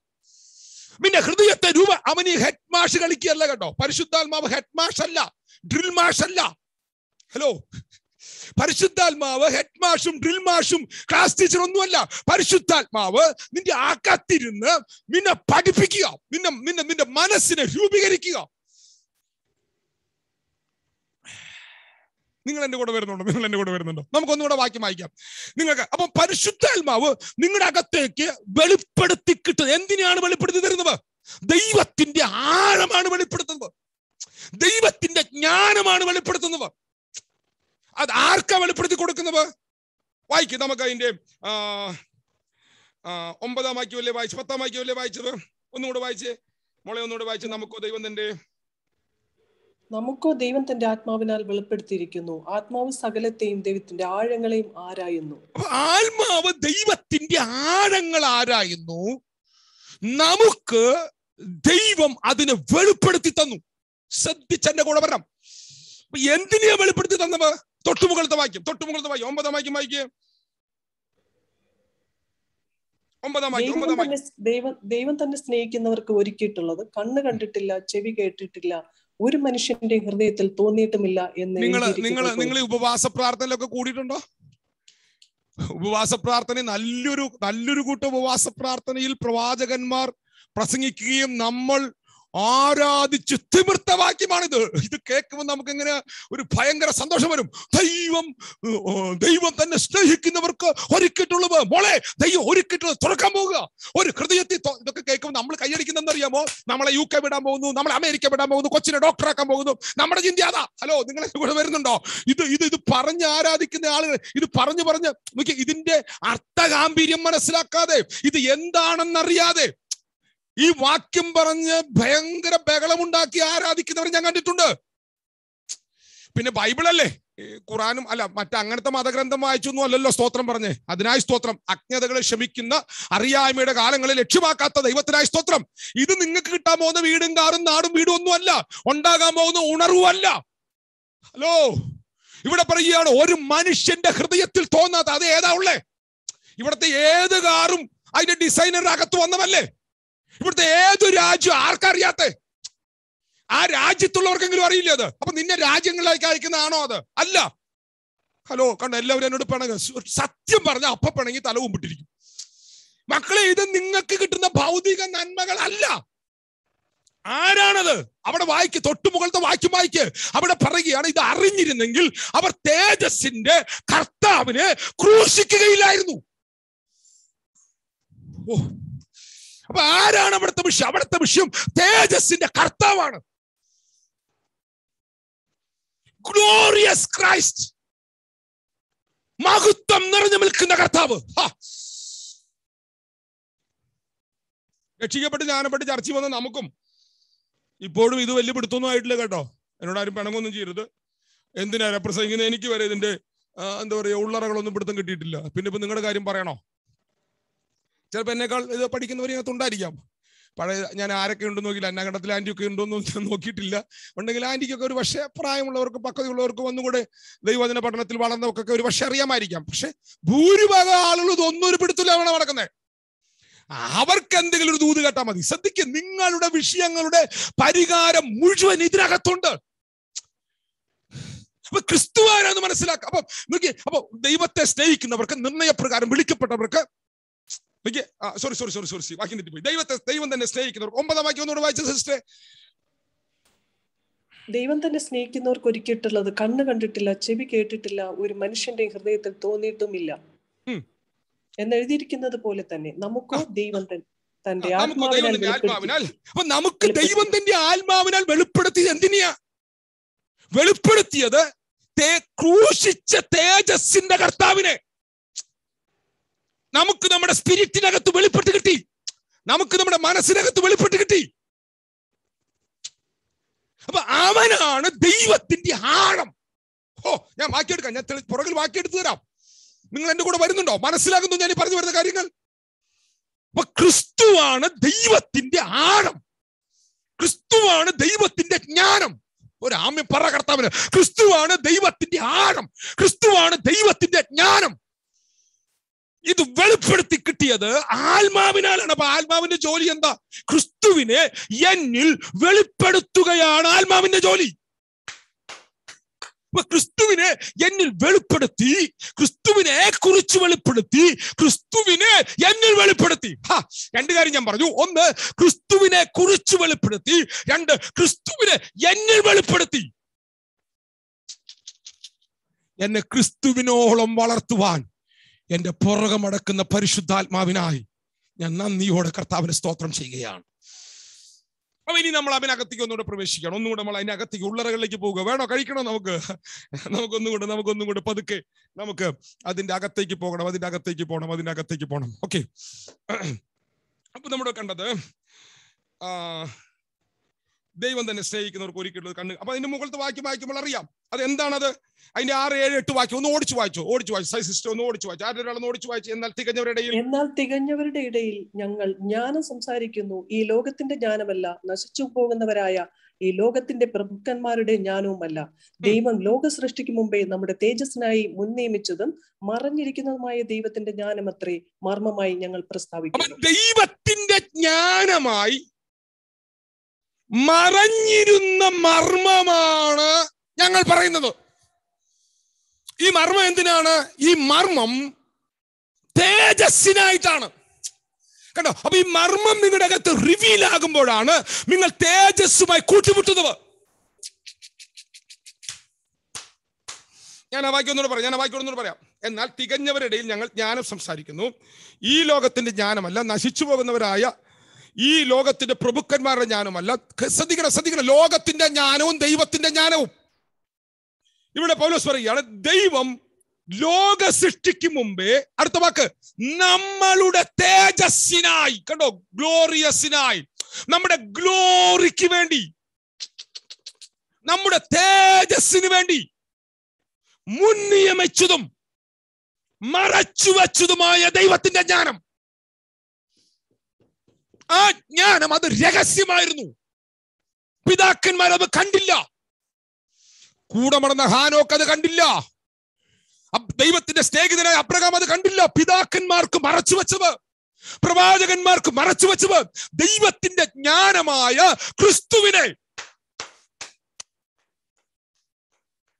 ദൈവം നമ്മുടെ മനസ്സിനകത്ത് വെളിപ്പെടുത്താൻ തുടങ്ങി. അത് അതിനു വേണ്ടി നമ്മുടെ പുറകമടക്കുന്ന ആത്മാവ്. നീ പാപത്തിൽ കിടക്കുമ്പോഴും ജഡത്തിൽ കിടക്കുമ്പോഴും ലോകത്തിന്റെ പുറകമടക്കുമ്പോഴും നോക്കിയേ ദിവ്യാഗ്രഹത്തിന് പുറക അയ്യോ രാബാന ശാന്തര നീ എന്തിന്റെ പുറകമടക്കണമോ അവൻ വെയിറ്റ് ചെയ്യുന്നു. അവൻ വെയിറ്റ് ചെയ്യുന്നു. എന്തിനു വേണ്ടി? പരിശുദ്ധാത്മാവ് പരിശുദ്ധാത്മാവ് വെയിറ്റ് ചെയ്യുന്നു. എന്തിനു വേണ്ടി? ഒരു ദിവസം ഈ മടങ്ങി വരും. ഒരു ദിവസം ഈ ലോകത്തിന്റെ ഇമ്പങ്ങളെ നീ വെറുക്കും. ഈ ലോകം നിന്നെ ചതിക്കും. ഈ ലോകം നിന്നെ തള്ളും. ഈ ലോകം നിന്നെ തിരസ്കരിക്കും. ഈ ലോകം നിന്നെ വെറുക്കും. ആ സമയത്ത് നീ ദൈവത്തിലേക്ക് തിരിയുന്നത് വരെ പരിശുദ്ധാത്മാവ് വെയിറ്റ് ചെയ്യുന്നു. എന്നിട്ട് ഇത് ആർക്ക വെളിപ്പെടുത്തി കൊടുക്കുന്നവ? ഇത് ആർക്ക വെളിപ്പെടുത്തി കൊടുക്കുന്നവ? വെളിപ്പെടുത്തി കൊടുക്കുന്നവ? ഒമ്പതാം വാക്യം. ദൈവം തന്നെ സ്നേഹിക്കുന്നവർക്ക് കേൾക്കുന്നുണ്ടോ?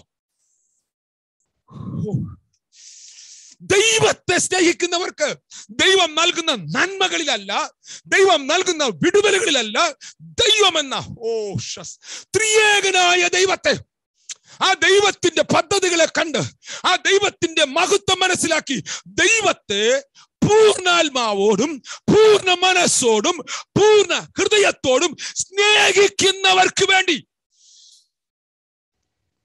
ദൈവത്തിന്റെ ആഴങ്ങൾ ദൈവം തുറക്കാൻ തുടങ്ങും. ഓ റബാന ഷസ്കന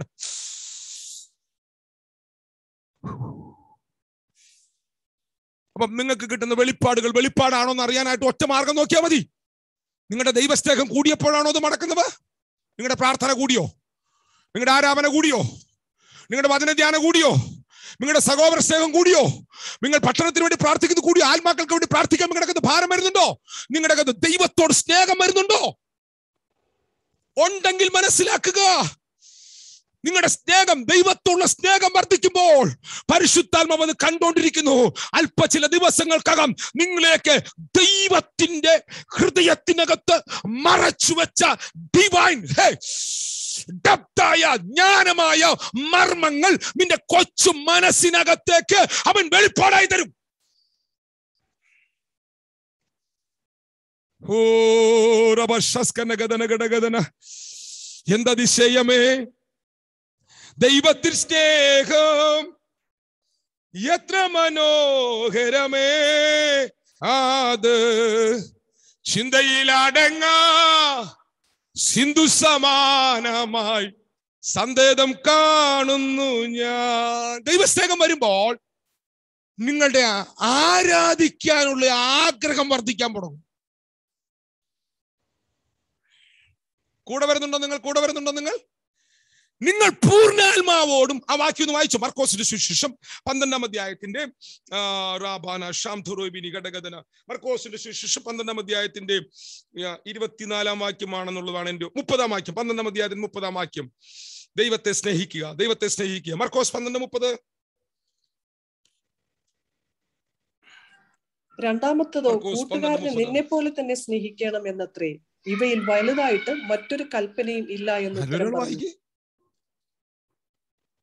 നിന്റെ ദൈവമായ കർത്താവിനെ നീ പൂർണ ഹൃദയത്തോടും വായിക്കാൻ നിന്റെ ദൈവം നിന്റെ ദൈവമായ രണ്ടാമത്തേത് കർത്താവിനെ നീ പൂർണ ഹൃദയത്തോടും പൂർണ വായിച്ചിരുന്നോ? വായിക്കുന്നുണ്ടോ? എനിക്ക് കേൾക്കാത്താണോ? അതെ. വായിക്കുന്നുണ്ട്.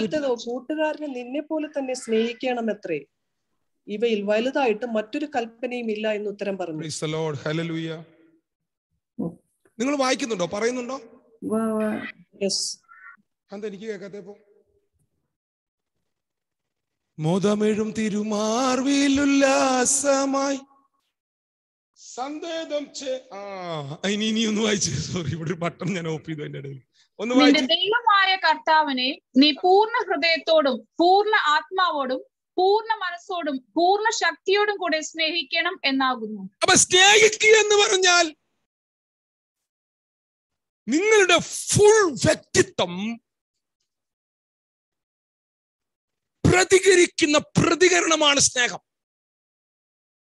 പൂർണാത്മാവോടും പൂർണ ഹൃദയത്തോടും പൂർണ മനസ്സോടും കൂടെ ഈ ഭൂമിയിലുള്ള എല്ലാറ്റിനേക്കാളും ഉപരിയായി യേശുവിനെ ക്രിസ്തുവിനെ ദൈവത്തെ സ്നേഹിക്കാൻ തുടങ്ങുമ്പോൾ അങ്ങനെ സ്നേഹിക്കുന്നവരുടെ അകത്തേക്ക് ദൈവത്തിന്റെ ഹൃദയത്തിനകത്തുള്ള ദൈവജ്ഞാനത്തിന്റെ രഹസ്യങ്ങൾ ദൈവം തുറക്കാൻ തുടങ്ങും. അപ്പൊ ദൈവസ്നേഹം വർദ്ധിപ്പിക്കാൻ എന്ത് ചെയ്യണം? ദൈവസ്നേഹം വർദ്ധിക്കാൻ ക്രൂശിന് ചോട്ടി പോണം. അതിഷ്ടമല്ലല്ലോ ക്രൂശ് നമുക്ക് ഇഷ്ടമുള്ള കാര്യമല്ലല്ലോ. ക്രൂശ് നമുക്ക് ഇഷ്ടമുള്ള കാര്യമല്ല. പാപികളും ദോഷികളും അധർമ്മികളുമായിരുന്നു നമ്മെ.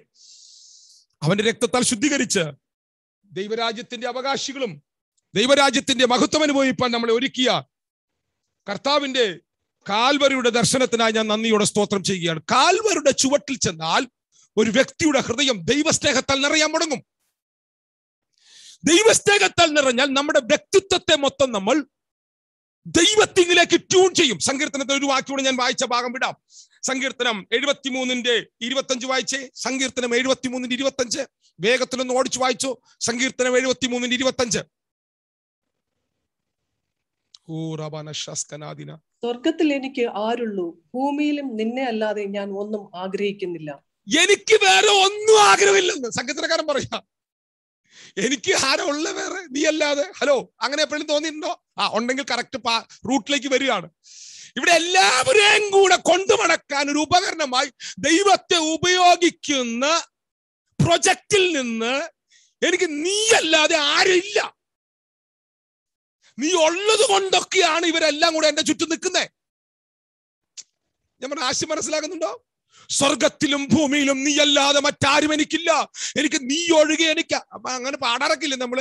നീ ഒഴികെ ഞങ്ങൾക്കു സുരൽ ഞാൻ പാടി നീ ഒഴികെ ഞങ്ങൾക്കു സുരലോകെ ആരുണ്ടു ജീവനാഥ നീ ഒഴികെ ഈകത്തിൽ മറ്റാരുമില്ല സഹിപ്പാൻ പറയനെ ഉവ വെറുതെ പാടുന്നതാ. വെറുതെ പറയുന്നതാണത് ഒരു ശതമാനം പോലും അതിനോട് ആത്മാർത്ഥതയോട് കൂടിയാണോ പറയുന്നതെന്ന് എനിക്ക് ഒരു ശതമാനം പോലും എനിക്ക് തോന്നുന്നില്ല. ഞാൻ എന്റെ അനുഭവത്തിൽ നിന്ന് പറയുന്നതാണ് കേട്ടോ. നീ ഒഴികെ എനിക്ക് ആരും വേണ്ട. നീ ഒഴികെ എനിക്ക് ആരുമില്ല. നീ മാത്രമേ ആശ്രയിക്കാനുള്ളൂ. ഞാൻ കൈ വെക്കാനൊന്നും പറയുന്നില്ല. എന്തിനാ വെറുതെ ഒരു ഒരു ഒരു നല്ല വചനം ഇങ്ങനെ തുറന്നു വരുന്നതിന്റെ ഇടയിൽ? നമുക്ക് അങ്ങനെ നമ്മൾ ഇന്ന് ട്യൂൺ ചെയ്യണം. നമുക്ക് കുറെ ആൾക്കാരുണ്ട് ഇവിടെ. നമുക്ക് കുറെ ബന്ധങ്ങളും കൂട്ടുകാരും ചർച്ചക്കാരും ഭാര്യയും ഭർത്താവും. കുറെ ഭാര്യ ഉണ്ടെന്നല്ല കേട്ടോ പറഞ്ഞത് ഭാര്യയും ഭർത്താവും ഒക്കെ നമുക്കുണ്ട്. കുറെ ബന്ധങ്ങൾ നമ്മുടെ ചുറ്റുമുണ്ട്. അപ്പൊ ഇതൊക്കെ ഉള്ളത് കൊണ്ടാണ് നമുക്ക് അവനെ ആശ്രയിക്കാൻ പറ്റാത്തത്.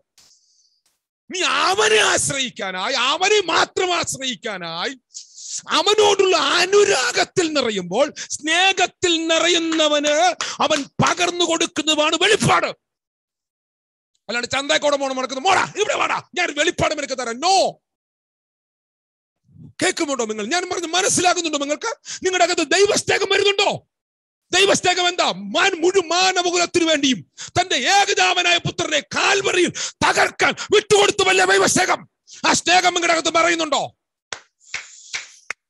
നശിച്ചു പോകുന്ന ആത്മാക്കളെ കുറിച്ചുള്ള ഭാരം നിങ്ങളുടെ അകത്ത് പറയുന്നുണ്ടോ? ഉണ്ടെങ്കിൽ നിങ്ങളുടെ അകത്ത് ദൈവസ്നേഹം ഉണ്ട് ദൈവം സ്നേഹം തന്നെ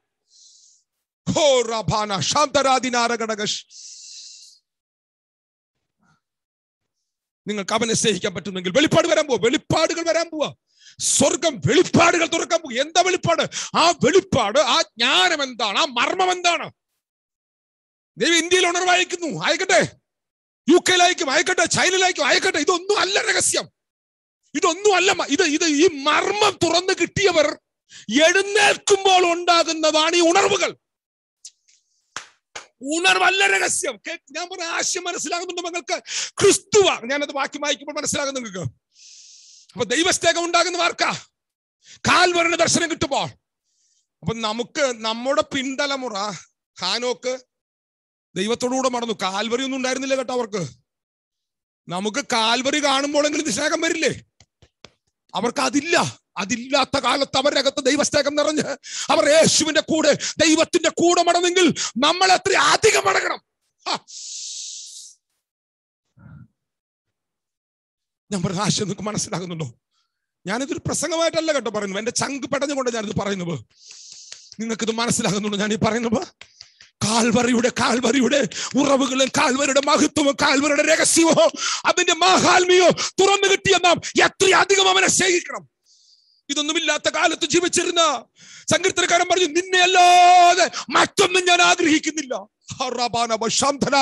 നമുക്ക് നമ്മുടെ മനസ്സുകളെ ഒന്ന് ട്യൂൺ ചെയ്യാൻ ഒന്ന് രൂപീകരിപ്പാൻ ഒന്ന് രൂപാന്തരപ്പെടുവാൻ നമുക്ക് ഇന്ന് രാത്രി അനുവദിക്കാം. കർത്താവേ ഞങ്ങൾക്ക് നിന്നെ മതി കർത്താവേ. ഞങ്ങൾക്ക് നിന്നെ മതി യേശുവേ. പിതാവേ ഞങ്ങൾക്ക് അവരെ ഒന്ന് വെളിപ്പെടുത്തി തരണമേ. അപ്പൊ ദൈവത്തിന്റെ ഹൃദയത്തിൽ മറച്ചു വെച്ച രഹസ്യം. സ്നേഹിക്കുന്നവർക്കാണ് ഇത് വെളിപ്പെടുത്തി കൊടുക്കുന്നത്. അതിനെക്കുറിച്ചൊരു വാക്യം യോഹന്നാന്റെ സുശേഷത്തോട് സ്നേഹിക്കുന്നവൻ ഞാൻ ആ വാക്യം എഴുതി വെക്കാത്ത വാക്യമാണ് പക്ഷെ എന്റെ ഓർമ്മയിലെ വാക്യം വരുന്നു. യോഗന്നാൻ പതിനാലിന്റെ ഇരുപത്തിമൂന്ന് വായിച്ച്. യോഗന്നാൻ പതിനാലിന്റെ ഇരുപത്തിമൂന്ന്. യേശുവനോട് എന്നെ സ്നേഹിക്കുന്നവൻ യേശു അവനോട് എന്നെ സ്നേഹിക്കുന്നവൻ എന്റെ വചനം പ്രമാണിക്കും. എന്റെ പിതാവ് അവനെ സ്നേഹിക്കും. ഞങ്ങൾ അവന്റെ അടുക്കൽ വന്ന് അവനോട് കൂടി വാസം ചെയ്യും. കണ്ടോ ഞങ്ങൾ അവന്റെ അടുക്കൽ വന്ന് അവനോടുകൂടെ ഇരുപത്തൊന്ന് വായിക്കോട് വായിച്ച് എന്റെ കൽപ്പന ലഭിച്ച് പ്രമാണിക്കുന്നവൻ ആ. എന്റെ കൽപ്പനകൾ ലഭിച്ച് പ്രമാണിക്കുന്നവൻ എന്നെ സ്നേഹിക്കുന്നവൻ ആകുന്നു എന്നെ സ്നേഹിക്കുന്നവനെ എന്റെ പിതാവ് സ്നേഹിക്കുന്നു. ഞാനും അവനെ സ്നേഹിച്ച് അവൻ എന്നെ തന്നെ വെളിപ്പെടുത്തും. കണ്ടോ? എന്നെ സ്നേഹിക്കുന്നവൻ എന്റെ കൽപ്പനകൾ പ്രമാണിക്കും. അത് മാത്രമല്ല കൽപ്പനകൾ പ്രമാണിക്കുക മാത്രമല്ല സ്നേഹിക്കുന്നവൻ കൽപ്പനകൾ പ്രമാണിക്കുമ്പോൾ ഞാൻ അവന്റെ അടുക്കൽ ചെന്ന് അടുത്ത വാക്യം പറയുകയാണ്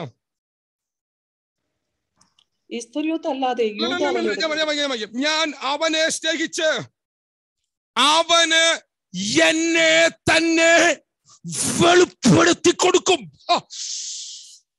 എന്നെ സ്നേഹിക്കുന്നവന് ഞാൻ ആരാണ് ഓ. വെറും മണ്ണിന്ന് കുഴച്ചുണ്ടാക്കിയ എന്റെ മനസ്സിനകത്ത് എന്റെ ഹൃദയത്തിനകത്ത് ഈ പ്രപഞ്ചത്തെ ഒറ്റ വാക്കിനാൽ വിളിച്ചു വരുത്തിയവനെ വെളിപ്പെടുത്തി തരുമോ? ഇവിടെയല്ലേ മക്കളെ ആരാവന വരണത്? ഓ റബാന കടകബന.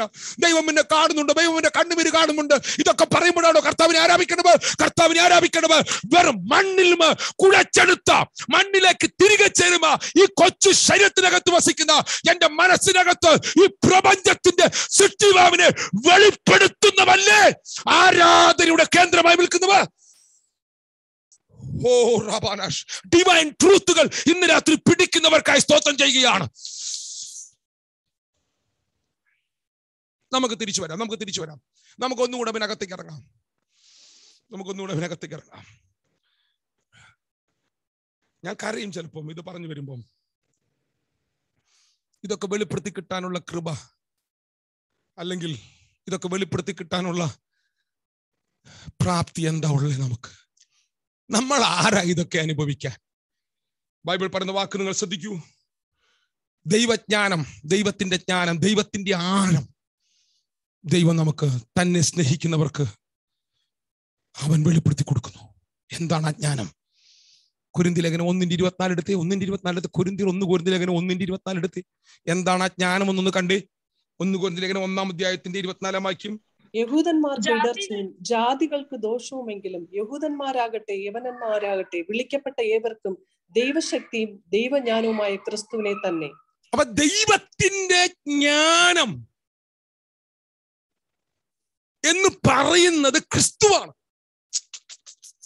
ദൈവത്തിന്റെ ശക്തി എന്ന് പറയുന്നത് ക്രിസ്തുവാണ്. അവിടെ വാക്യം ശ്രദ്ധിച്ചു നിങ്ങൾ? ദൈവജ്ഞാനവും ദൈവശക്തിയുമായ ക്രിസ്തു. അപ്പൊ ദൈവത്തിന്റെ ആഴം എന്ന് പറയുന്നത് എന്താ? ക്രിസ്തുവാണ്. ദൈവത്തിന്റെ ജ്ഞാനമായ ദൈവശക്തിയായ ദൈവത്തിന്റെ മിസ്റ്ററിയായ ക്രിസ്തുവിനെ പരിശുദ്ധാത്മാവ് എന്റെ മനസ്സിലേക്ക് വെളിപ്പെടുത്തുക. എന്റെ ഹൃദയത്തിലേക്ക് വെളിപ്പെടുത്തുക. മക്കളെ അത് ഈ ഒരു മീറ്റിംഗിലല്ല നടക്കുക. ഈ മീറ്റിംഗിൽ അവന്റെ ഒരു സ്പർശനം വേണമെങ്കിൽ ഉണ്ടാകാം ഞാനിപ്പോ ഇത് ക്ലാസ് എടുത്തത്. ഇത് ഈ ക്ലാസ് എടുക്കുമ്പോൾ ഉണ്ടാകേണ്ട എന്താ അറിയാമോ നിങ്ങൾക്ക് അവനോട് സ്നേഹം വർദ്ധിച്ച് നിങ്ങൾക്ക് അവനോടുള്ള അനുരാഗം വർദ്ധിച്ച് നിങ്ങൾ അവനെ ആരാധിക്കുന്ന അവനെ സ്നേഹിക്കുന്ന തലത്തിലേക്ക് നിങ്ങൾ പണിയപ്പെടണം. അപ്പോൾ ദൈവത്തിന്റെ അകത്ത് നിങ്ങളുടെ പ്രകൃതി കണ്ട് നിങ്ങളിലേക്ക് അവൻ കൈമാറുന്നതാണ് വെളിപ്പാട്. ആ വെളിപ്പാട്? ആ വെളിപ്പാട് ക്രിസ്തുവാണ്. ക്രിസ്തുവാണ് വെളിപ്പാട്. ക്രിസ്തുവാണ് വെളിപ്പാട്. ഓക്കെ ഇനി നമുക്ക് ആ ഇരുപത്തഞ്ച് മുതൽ മുപ്പതുള്ള വാക്യങ്ങൾ. സൈസിസ്റ്റ് ഒന്ന് ഓടിച്ചു വായിക്കാമോ? ഇരുപത്തഞ്ചാം വാക്യം. ദൈവത്തിന്റെ പോഷത്വം. ദൈവത്തിന്റെ പോഷത്വം മനുഷ്യരെക്കാൾ ജ്ഞാനമേറിയതും ദൈവത്തിന്റെ ബലഹീനത മനുഷ്യരെക്കാൾ ബലമേറിയതുമാകുന്നു. സഹോദരന്മാരെ നിങ്ങളുടെ വിളിയെ നോക്കുവിൻ. ലോകാഭിപ്രായ പ്രകാരം ജ്ഞാനികൾ ഏറെയില്ല. ബലവാന്മാർ ഏറെയില്ല. കുലീനന്മാരും ഏറെയില്ല. ജ്ഞാനികളെ ലജിപ്പാൻ ദൈവം ലോകത്തിൽ ഭോഷത്വമായത് തിരഞ്ഞെടുത്തു. ബലമുള്ളതിനെ ലജ്ജിപ്പാൻ ദൈവം ലോകത്തിൽ ബലഹീനമായത് തിരഞ്ഞെടുത്തു.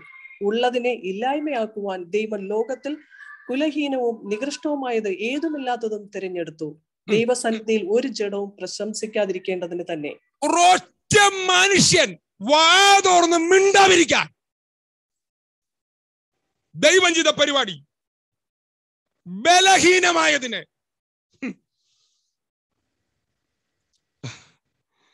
ഭോഷത്വമായതിനെ കുലഹീനമായതിനെ. നികൃഷ്ടമായവരെ. ഏതുമല്ലാത്തവരെ. അവൻ സെലക്ട് ചെയ്തു. കേൾക്കുന്നുണ്ടോ? നിങ്ങൾ എന്നെ കൂടെ വരുന്നുണ്ടോ? എന്ത് എന്തിനു വേണ്ടി? ക്രിസ്തുവിനെ വെളിപ്പെടുത്താൻ. ദൈവത്തിന്റെ ജ്ഞാനമായ ക്രിസ്തുവിനെ വെളിപ്പെടുത്താൻ. അപ്പം ഇതിനകത്ത് വന്നവൻ ഇനി ഒരു എന്റെ കഴിവുണ്ട് എന്റെ കഴിവുണ്ട് എന്റെ പ്രാപ്തി കൊണ്ട് ഞാൻ ഞാൻ പഠിച്ചത് കൊണ്ടോ ഞാൻ പ്രസ ഏയ് പൊന്നു പോലെ നിനക്ക് ഒന്നുമില്ലെന്ന് മനസ്സിലാക്കിയത് കൊണ്ടാണ് നിന്നെ സെലക്ട് ചെയ്തത്. എന്തിനു വേണ്ടി? ഒരെണ്ണം നേരെ വെക്കരുത് ഇവിടെ വന്ന്. ഒരു ചേട്ടവും പ്രശംസിക്കരുത്. കുലഹീനമായതിനെ ബലഹീനമായതിനെ ഏതുമല്ലാത്തതിനെ നികൃഷ്ടമായതിനെ സെലക്ട് ചെയ്തു. എവിടെ സെലക്ട് ചെയ്തു? എന്ന് സെലക്ട് ചെയ്തു. ഈ പ്രപഞ്ചത്തെ ഉണ്ടാക്കുന്നതിന് മുമ്പ് ലോകസ്ഥാപനത്തിന് മുമ്പ് ഹേ, നീ ഉരുവാകുന്നതിന് മുമ്പ് അവൻ ക്രിസ്തുവിൽ എന്നെ സെലക്ട് ചെയ്തു. ഏ എന്റെ അപ്പനും അമ്മയും എന്താ പറയാ കല്യാണം കഴിഞ്ഞ ശേഷം ഞാൻ അവരുടെ അകത്ത് ഉരുവായത്. എന്നെ ദൈവം സെലക്ട് ചെയ്ത് ലോകസ്ഥാപനത്തിന് മുമ്പ് അവന്റെ തിരുഹൃദയത്തിൽ എന്നെ സെലക്ട് ചെയ്തു. ആദാമ പ്രകൃതിയിൽ ജീവിച്ച് വഴിത്തലക്കിൽ കിടക്കുന്ന ആർക്കും വേണ്ടാത്ത സംസ്കാരമില്ലാത്ത വീട്ടിക്കയറ്റാൻ കൊള്ളാത്ത ഹേ, കുലഹീനമായ സജിയെ ബലഹീനനായ സജിയെ അവൻ സെലക്ട് ചെയ്തു എന്ന് ലോകസ്ഥാപനത്തിന് മുമ്പ് ക്രിസ് അവനിൽ എന്നെ സെലക്ട് ചെയ്തു. ഒരു ഡിവൈൻ മിസ്റ്ററി ഇന്ന് രാത്രി നിങ്ങളുടെ അകത്തേക്ക് ദൈവാത്മാവ് തുറക്കട്ടെ. ഇത് നിങ്ങൾക്ക് അറിവുണ്ടായിരിക്കാം. പക്ഷേ ഇത് നിങ്ങളുടെ അകത്ത് ജ്ഞാനമാകട്ടെ. ദൈവം നിങ്ങളെ സെലക്ട് ചെയ്ത ശേഷമാണ് ഈ ഭൂമിയിലേക്ക് അവൻ നിങ്ങളെ അയച്ചിരിക്കുന്നത്.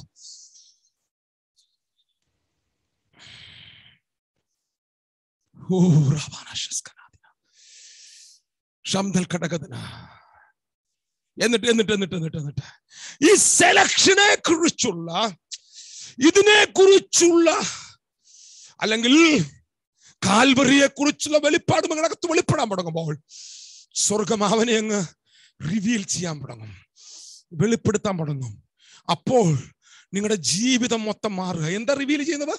ഒരു ജഡവും നീതികരിക്കാം ഒരു ജഡവും പ്രശംസിക്കാതിരിക്കേണ്ടവന് കുലഹീനമായതിനെ നികൃഷ്ടമായവന് ബലഹീനമായതിന് ഏതുമല്ലാത്തവന് സെലക്ട് ചെയ്ത്.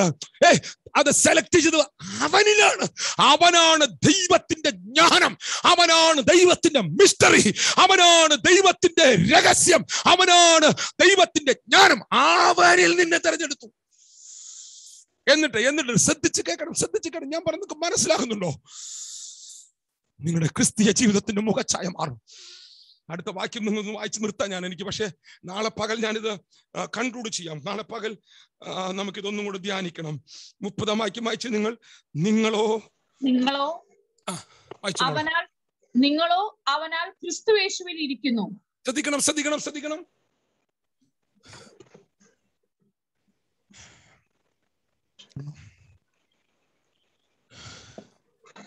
നിങ്ങളോ? ശ്രദ്ധിക്കുക മക്കളെ നിങ്ങളോ? ദൈവത്താൽ. ഇപ്പോൾ അവനിലിരിക്കുന്നു ആരിൽ? ക്രിസ്തുവിൽ. ഒന്ന് നിങ്ങളെ ക്രിസ്തുവിൽ തെരഞ്ഞെടുത്തു. സെലക്ട് ചെയ്ത്. നിങ്ങൾ ഉണ്ടാകുന്ന മുമ്പ് നിങ്ങളുടെ സകല പ്രകൃതികളും പ്രകൃതികളും ഉള്ളതുപോലെ അറിയുന്നവൻ. ഇതുവരെ നീ ചെയ്ത പാപവും ഇനി നീ ചെയ്യാൻ പോകുന്നവന്റെ പ്രകൃതി ഒക്കെ അറിഞ്ഞവൻ. നിന്നെ സെലക്ട് ചെയ്തു. എന്നിട്ട് സ്നാനത്താൽ രക്ഷയാൽ സ്നാനത്താൽ നിന്നെ അവന്റെ അകത്താക്കി. ക്രിസ്തുവിലാക്കി നിന്നെ. യേശു ക്രിസ്തുവിന്റെ വിശ്വാസത്താൽ നിങ്ങൾ എല്ലാവരും ദൈവത്തിന്റെ മക്കളാകുന്നു. ക്രിസ്തുവിനോട് ചേരുവാൻ നിങ്ങൾ എല്ലാവരും ക്രിസ്തുവിനെ ധരിച്ചിരിക്കുന്നു. നിങ്ങൾ അവനെ ധരിച്ചു. നിങ്ങൾ അവന്റെ അകത്തായി. സ്നാനപ്പെട്ട മക്കളെ നിങ്ങളിപ്പോൾ ക്രിസ്തുവിന്റെ അകത്താണ്. ബൈബിൾ പറയുന്നു ഒരുവൻ ക്രിസ്തുവിനായാൽ അവൻ പുതിയ സൃഷ്ടിയാണ്. വെള്ള ഡ്രസ് ഇട്ടതാണോ? ഷേവ് ചെയ്തതാണോ? ആഭരണ ഊരിയത്. ഇതൊക്കെ നടക്കട്ടെ എല്ലാം നടക്കട്ടെ. ഇതാണോ പുതിയ സൃഷ്ടി? അല്ല. അവൻ നിങ്ങളുടേതായി മാറുക. നിങ്ങളും അവനും ഒന്നായി മാറുക. അടുത്ത വാക്യം വായിക്കും മുപ്പതാം വാക്യം വായിക്ക്. അവൻ ദൈവത്തിൽ നിന്ന് അവൻ നമുക്ക് ദൈവത്തിൽ നിന്ന് ജ്ഞാനവും നീതിയും ശുദ്ധീകരണവും വീണ്ടെടുപ്പുമായി തീർന്നു. ഓരാഭാരഭസ്കർ നിങ്ങൾക്കിത് മനസ്സിലാകുന്നുണ്ടോ? ദൈവത്തിന്റെ ജ്ഞാനമാണ് ക്രിസ്തു. നിങ്ങൾ രക്ഷിക്കപ്പെട്ട് സ്നാനപ്പെട്ട് അവന്റെ അകത്തായതിനാൽ ഇപ്പോൾ നിങ്ങളുടെ ജ്ഞാനം നിങ്ങളുടെ അറിവല്ല. നിങ്ങളുടെ ജ്ഞാനം അവനായി തീരുക അവൻ നിങ്ങൾക്ക് ദൈവത്തിൽ നിന്ന് ജ്ഞാനമായി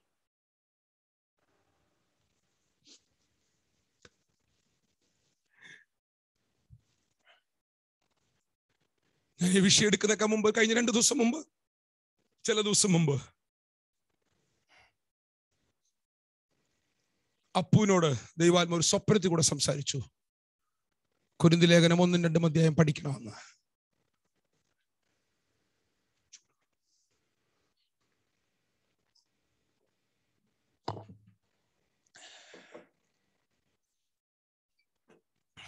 കുരുന്തി ലേഖനം ഒന്നും രണ്ടും അധ്യായം ആഴമേറിയ ദൈവിക മിസ്റ്ററികളുടെ അധ്യായമാണ്.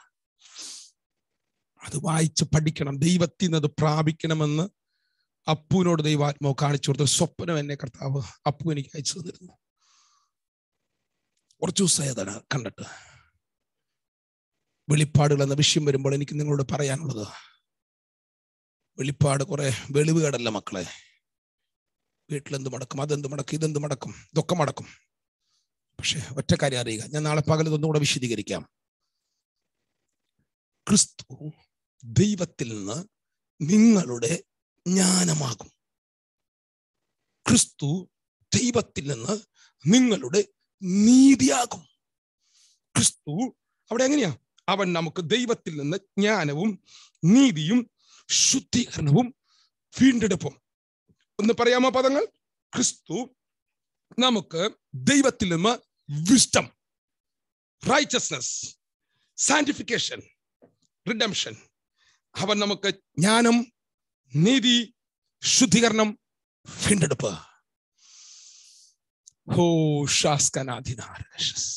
അവനാ ക്രിസ്തു.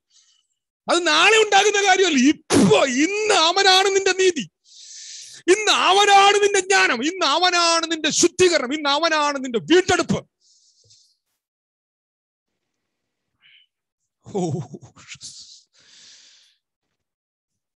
ഇനി എങ്ങനെ നമുക്കത് പ്രായോഗികമായി മനസ്സിലാക്കാം? ഇപ്പൊ നമ്മുടെ ജീവിതത്തിൽ നമ്മൾ ക്രിസ്തുവിനെ കുറിച്ച് വെളിപ്പാടില്ലാത്തൊരു കാലഘട്ടത്തിൽ നിങ്ങളുടെ ജീവിതത്തിൽ ഒരു പ്രശ്നം വരുന്നു ഒരു അവസ്ഥ വരുന്നു.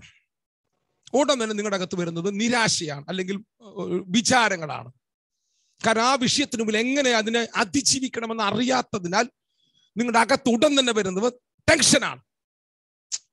നിങ്ങളുടെ അകത്ത് ഉടൻ തന്നെ വരുന്ന വ്യാകുലപാളാണ് പക്ഷെ നിങ്ങളുടെ അകത്ത് ഡിവൈൻ വിഷ്ടമായ ക്രിസ്തു ഉണ്ടെങ്കിൽ ക്രിസ്തു നിങ്ങളിൽ ജ്ഞാനമായാൽ നിങ്ങളുടെ അകത്ത് ഉറപ്പോടെ നിങ്ങൾ പറയും.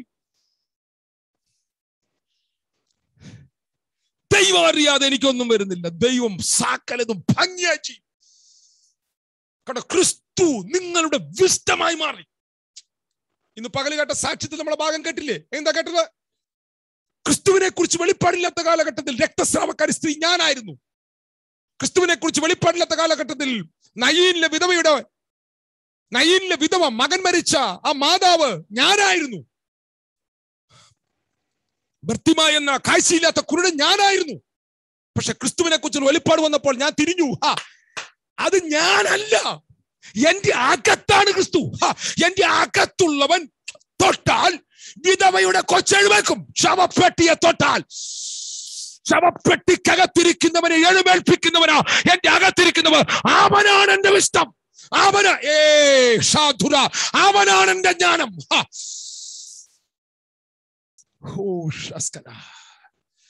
ക്രിസ്തു പുറത്തല്ല. ക്രിസ്തു എന്റെ അകത്താണ്. ഞാൻ ഇങ്ങോട്ട് പ്രതീക്ഷിക്കുകയല്ല. എന്റെ അകത്തുനിന്ന് അവൻ പുറത്തേക്ക് ഒഴുകാൻ പോവുക. അവൻ എന്നിൽ പൗലോസിന്റെ ഭാഷ പറഞ്ഞ അവൻ എന്നിൽ വെളിപ്പെട്ടു വരാൻ പോവുക. അവനെ എന്നിൽ വെളിപ്പെടുത്തുവാൻ ദൈവത്തിന് പ്രസാദം തോന്നിയപ്പോൾ. ഗലാത്തിലേഖനത്തിൽ പൗലോസ് അങ്ങനെ പറഞ്ഞു. രണ്ടു കോൾ ലേഖനത്തിൽ വന്ന പൗലോസ് പറഞ്ഞു യേശുവിന്റെ ജീവൻ എന്റെ ശരീരത്തിൽ വെളിപ്പെടുമ്പോൾ. അതുകൊണ്ട് ഇങ്ങനെ ഒരു തലത്തിലേക്ക് വളരാൻ നിങ്ങൾ ആഗ്രഹിക്കുന്നെങ്കിൽ റോമാലേഖനം ഗലാത്തി ലേഖനം എഫേസ് ലേഖനം ഫിലിപ്പിയ ലേഖനം കൊലോസ് ലേഖനം എബ്രായ ലേഖനം ഓ ഷസ്കനാദിന ലേഖനങ്ങൾ വായിക്കും മക്കളെ. ഈ ലേഖനങ്ങൾ വായിക്കുന്നവരും ഈ ലേഖനം വായിക്കുന്നവ ഈ ചില ആൾക്കാർ വായിക്കുന്നത് ഇടത്തോട്ട് മാറിയോ വലത്തോട്ട് മാറിയോ എന്ന് അറിയാൻ വേണ്ടി വായിക്കുന്നവരുണ്ട്. അറിവുണ്ടാക്കാൻ വേണ്ടി വായിക്കുന്ന അല്ല ക്രിസ്തുവാരാണ് ക്രിസ്തു നിന്നിൽ എന്താണ്? ഇത് അറിയാൻ വേണ്ടി ഇത് വെളിപ്പാടാകാൻ വേണ്ടി വായിക്കുക നിന്നിരിക്കുന്ന ക്രിസ്തു തുറക്കും. നിന്റെ ചുറ്റുമുള്ള സമൂഹത്തിൽ അന്ധരായവരുടെ കണ്ണവൻ തുറക്കും. നിന്റെ ചുറ്റുമുള്ള കുടുംബങ്ങളിലെ തലമുറകൾ മരിച്ച് പെട്ടിക്കകത്ത് കിടക്കുന്നത് നിന്റെ സ്പർശനത്താൽ എഴുന്നേൽക്ക് കാരണം മഹത്വത്തിന്റെ പ്രത്യാശിയായ ക്രിസ്തു നിന്റെ അകത്തിരിക്കുന്നു ഒരു കൂട്ടം യൗവനക്കാർ മദ്യത്തിനും മയക്കുമരുന്നിനും അടിമപ്പെട്ട് ലോകത്തിന്റെ ഇമ്പങ്ങളുടെ പുറകെ ഒഴുകുമ്പോൾ ഒരു കാലഘട്ടം നാം നിലവിളിച്ചെങ്കിൽ അടുത്ത കാലഘട്ടം നാം യേശുവിനെ ശുശ്രൂഷിക്കുന്നവരാണെങ്കിൽ അവന്റെ അവന്റെ അവന്റെ അവന്റെ അവന്റെ ജ്ഞാനം അവന്റെ വിഷ്ടം അവന്റെ ശക്തി നമ്മിൽ ഓപ്പണാകാൻ തുടങ്ങിയാൽ ഇനി കരച്ചിൽ കരയുന്ന കാലം നിർത്തി. ഇനി നിലവിളിക്കുന്ന കാലം നിർത്തി. എവിടെയാടാ? മരിച്ചവൻ കിടക്കുന്നവ. ഞാൻ അവനെ തൊടാൻ പോവുകയാണ്. ഞാൻ തൊട്ടാൽ ശവപ്പെട്ടിക്കകത്ത് ശന്തര. ലോകത്തിൽ ആദ്യമായി എനിക്കറിയില്ല ഇസ്രായേലിലെ ചരിത്രം എനിക്കറിയില്ല. നമ്മുടെ നാട്ടിലെ ചരിത്രം ഞാൻ പറയാം. നമ്മുടെ നാട്ടിലെ ചരിത്രം എന്ന് പറഞ്ഞാൽ ഒരു വ്യക്തി മരിച്ചു കഴിഞ്ഞാൽ ഞാൻ കണ്ടിട്ടുണ്ട് മക്ബേല സെമിത്തേരിയിലും മറ്റ് സെമിത്തേരികളിൽ കുഴിവെട്ടുകാരുണ്ട്. കുഴിവെട്ടുകാർ അവിടെ കാത്തിരിക്കുകയാണ്. ഡെഡ് ബോഡി ഒന്ന് കൊണ്ടുവച്ച് നമ്മൾ കരഞ്ഞും വിളിച്ചും വ്യാകുലപ്പെട്ടും നിലവിളിച്ചും നമ്മൾ ഇവനെ കൊണ്ടുപോകുമ്പോൾ അവരെ കാത്തിരിക്കുന്ന എന്തിനാ അറിയാമോ? ഈ കൊച്ചിനെ ഒന്ന് അടക്കിയിട്ട് വേണം ഇവരുടെ കയ്യിൽ നിന്ന് അഞ്ഞൂറ് രൂപ മേടിച്ചിട്ട്. ഇപ്പോഴാണ് ഇപ്പോഴല്ലോ പണ്ടത്തെ കാര്യം അഞ്ഞൂറ് രൂപ. രണ്ടായിരം രൂപ വാങ്ങിയിട്ട് വേണം ഞങ്ങൾക്ക് വെള്ളമടിക്കാൻ അവർക്ക് മരണവും വിഷയമല്ല അവർക്ക് ജനനവും വിഷയമല്ല അവർക്ക് ഇതൊന്നും വിഷയമല്ല അവർക്ക് മരിച്ചവന്റെ കുടുംബത്തെ വസൂലാക്കാൻ അവർ ആഗ്രഹിക്കുമ്പോൾ ലോക ചരിത്രത്തിൽ ആദ്യമായി ശവക്കോട്ടയിൽ കാത്തിരുന്നവരുടെ കാത്തിരിപ്പുകളെ അവസാനിപ്പിച്ചുകൊണ്ട് എന്റെ നസ്രയനായ എന്റെ യേശുനാഥൻ എന്റെ കർത്താവ് ശവപ്പെട്ടിയെ തൊട്ടു. രാജ്യങ്ങളിലുള്ള രാജ്യവ്യാപകമായി യുവജനങ്ങളെ മദ്യത്തിനും മയക്കുമരുന്നിനും ലോകയിമ്പങ്ങൾക്കും സെക്സിനും സ്പോർട്സിനും അടിമപ്പെടുത്തി വച്ചിരിക്കുന്ന ശവപ്പെട്ടികളെ തൊടാൻ ക്രിസ്തു കേന്ദ്രീകൃതമായ ജ്ഞാനമുള്ള വെളിപ്പാടുള്ള ഒരു തലമുറ പുറത്തു വരാൻ പോവുകയാണ്. നിന്റെ വേദനകൾ നിന്റെ വ്യാകുലതകൾ ആർക്കുമില്ലാത്ത നിന്റെ പ്രശ്നങ്ങൾ നിന്റെ അകത്തേക്ക് ക്രിസ്തുവിനെ തുറക്കാനാണ് ഇന്ന് രാത്രി വിശ്വസിക്കുക ഇന്ന് രാത്രി വിശ്വസിക്കുക അഫ്ഗാൻ പോലെയുള്ള രാജ്യങ്ങളിൽ കൊടിയ പീഡകളും പീഡനങ്ങളും ശക്തിപ്പെട്ടുകൊണ്ടിരിക്കുമ്പോൾ ഇന്ന് രാത്രി നമുക്ക് ഒരുമിച്ച് പറയാ ക്രിസ്തു പുറത്തു വരട്ടെ. ക്രിസ്തു രംഗത്ത് വരട്ടെ.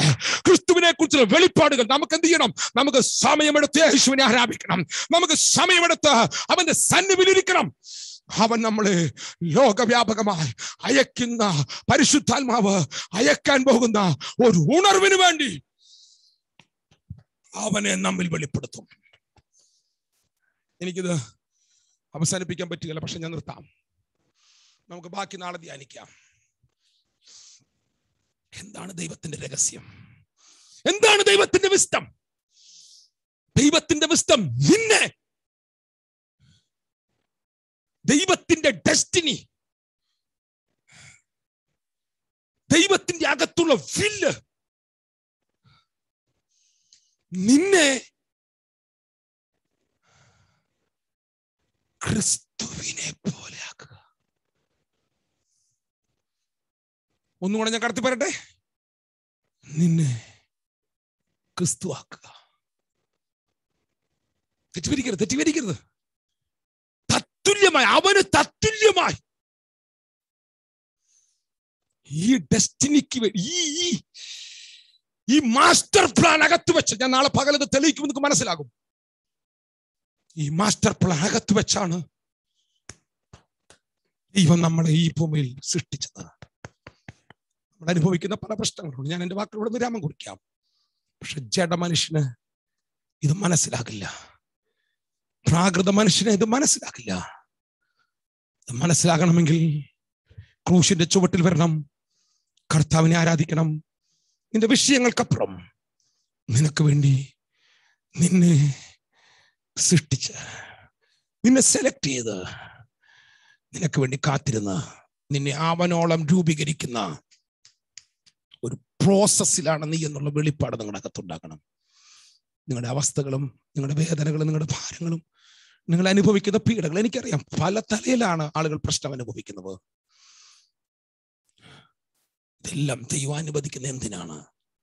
നിങ്ങളുടെ ആശ്രയം മാറ്റാൻ. നിങ്ങളുടെ ഡെസ്റ്റിനിയെ മാറ്റാൻ. നിങ്ങളുടെ ലക്ഷ്യത്തെ മാറ്റാൻ. നമ്മളെ ഒന്ന് ഓട്ടച്ചു പണിയാൻ. ഇരമ്യാവനെ കുശവന്റെ വീട്ടിൽ കൊണ്ടുപോയി. മണ്ണ് കുഴച്ചുണ്ടാക്കുന്ന ചക്രത്തിന്മേൽ വെച്ച് മണ്ണ് തിരിക്കുന്ന കുശവന്റെ വീട്ടിൽ പോയി പറഞ്ഞു മോനെ നോക്കടാ. നിന്നെ ഇതുപോലെ ഉടയാതെ പണിതുകൊണ്ടിരിക്കുന്ന ഒരു സ്വർഗം നിന്റെ പുറകിലുണ്ട്. നിന്നെ തകരാൻ അനുവദിക്കാതെ നിന്നെ പണിയുന്ന ഒരു സ്വർഗം നിന്റെ പുറകിലുണ്ട്. എത്ര പേർക്ക് ഞാൻ ഈ പറയുന്നത് മനസ്സിലാക്കുന്നുണ്ട്? ക്രിസ്തു എന്ന ദൈവജ്ഞാനത്തെ നിന്റെ മനസ്സിനകത്ത് വെളിപ്പെടുത്തി തന്ന നിന്നെ അവനോട് ചേർത്ത് നടത്തി. മിസ്റ്ററികൾ നിന്റെ അകത്ത് തുറന്ന് നിന്നെ ശക്തിയോടെ അവൻ രൂപപ്പെടുത്തിയെടുക്കും. ഒരു വാക്ക് നമുക്ക് പ്രാർത്ഥിക്കാം. കണ്ണലടയ്ക്കാം. എല്ലാ കണ്ണുമടച്ച്. കഴിയുന്നവർ ഒന്ന് കുറഞ്ഞ ലേഖനം ഒന്നും രണ്ടും അധ്യായം. ഇന്ന് രാത്രി ഒന്ന് വായിച്ച് കിടക്കുക. നാളെ പകൽ മീറ്റിംഗിൽ പങ്കെടുക്കുന്നവർ. എല്ലാ കണ്ണുമടച്ച് ഒരു നിമിഷം ഒന്ന് പ്രാർത്ഥിക്കാം.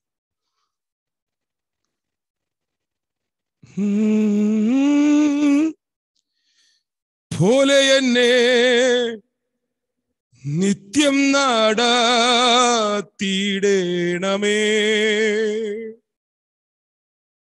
നിന്റെ ഹിത പോലെ എന്നെ നിത്യം നാടാത്തിടേണമേ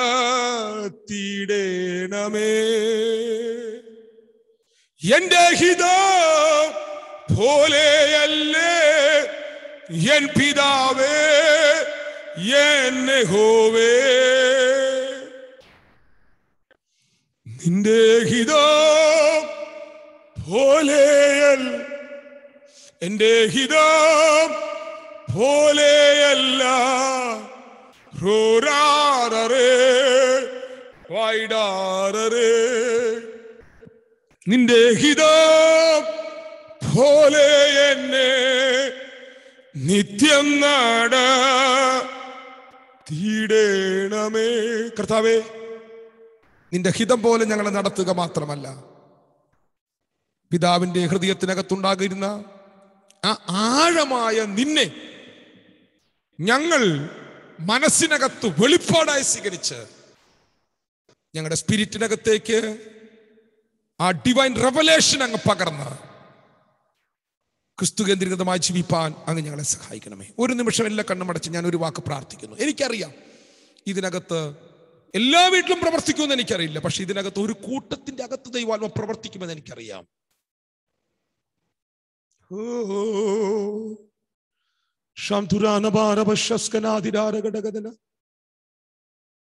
സിസ്റ്റർ അഞ്ജു ജസി മോൾ പ്രാർത്ഥിച്ചു. സിസ്റ്ററുടെ അകത്ത് കർത്താവ് ആഴമായ ക്രിസ്തു വെളിപ്പാടുകൾ തുറക്കാൻ പോകുന്നു. ഈ കുറെ പ്രശ്നത്തിനകത്ത് മടങ്ങും. കുറെ പ്രശ്നങ്ങൾക്കകത്ത്. ചോദ്യമിൽ മറുപടികളില്ലാത്ത ചോദ്യങ്ങളുടെ മുൾമുനകളിൽ നീ നിന്നു. ഇപ്പോഴും ഒരു പരിധി വരെ അങ്ങനെ തന്നെയാണ്. എനിക്കറിയില്ല സിസ്റ്ററുടെ വിഷയങ്ങൾ. പക്ഷേ ഇന്ന് രാത്രി പരിശുദ്ധാത്മാവ് ഈ സന്ദേശം എന്നോട് പറഞ്ഞുകൊണ്ടിരിക്കുമ്പോൾ എന്റെ അകത്ത് പറഞ്ഞു. നിന്റെ മറുപടി നീ ചിന്തിക്കുന്നതല്ല നിന്റെ മറുപടി ക്രിസ്തുവാണ്. ക്രിസ്തു നിന്റെ അകത്ത് റിവീലാകാൻ പോകുന്നു. നിന്റെ ബുദ്ധി തുറക്കാൻ പോകുന്നു. നിന്റെ അകത്ത് ജ്ഞാനമാകാൻ പോകുന്നു. നിന്റെ അകത്തു നിന്ന് ക്രിസ്തുവിന്റെ ശക്തി തുറക്കാൻ പോകുന്നു. ദൈവജ്ഞാനമായ ദൈവശക്തിയായ ക്രിസ്തുവിനെ പരിശുദ്ധാത്മാവ് നിന്റെ അകത്ത് വെളിപ്പാടാക്കി തന്ന നിന്നിലൂടെ അത് തുറക്കാൻ പോകുന്നു. മറ്റുള്ളവരെ വിവേചിക്കുന്ന ഒരു വിവേചന വരം ആത്മീകൻ സകലത്തെയും വിവേചിക്കുന്നു. താനോ ആരാലും വിവേചിക്കപ്പെടുന്നില്ല. എന്നോട് ദൈവാത്മ പറയുന്നു ഒരു വിവേചന വരം ഒരു ഡിസൈനിങ് സ്പിരിറ്റ് ദൈവാത്മ നിന്റെ അകത്തിടാൻ പോകുന്നു. അത് നിന്റെ വളർച്ചയുടെ ലക്ഷണമാണ്. നീ പ്രാർത്ഥിക്കുമ്പോൾ ചില വ്യക്തികളെ കുറിച്ചുള്ള വിഷയങ്ങൾ നിങ്ങളുടെ നിന്റെ അകത്ത് പൊന്തി വരാൻ തുടങ്ങും. എനിക്കറിയില്ല അത് എന്താണെന്ന് നീ വിചാരിക്കും അത് മനസ്സിൽ വരുന്ന ചിന്തയാണെന്ന്. അല്ല. ചില വ്യക്തികളെ കാണുമ്പോൾ നിന്റെ സ്പിരിറ്റിനകത്ത് നിന്റെ നിന്റെ മനസ്സിനകത്ത് സ്പിരിറ്റിൽ നിന്ന് ചിന്തകൾ ഉയർന്നു വരാൻ തുടങ്ങും. അത് പരിശുദ്ധാത്മാവ് ഇന്ന് രാത്രി അത് ഒന്നുകൂടെ ഓപ്പൺ ആക്കുകയാണ്. നീ അവനെ ശക്തിയോടെ ആരാധിക്കണം. അവന്റെ സന്നിധി ഒറ്റയ്ക്കിരിക്കണം. റിവീലാകും റിവീലാകും ആഴമായത് തുറക്കാൻ തുടങ്ങും.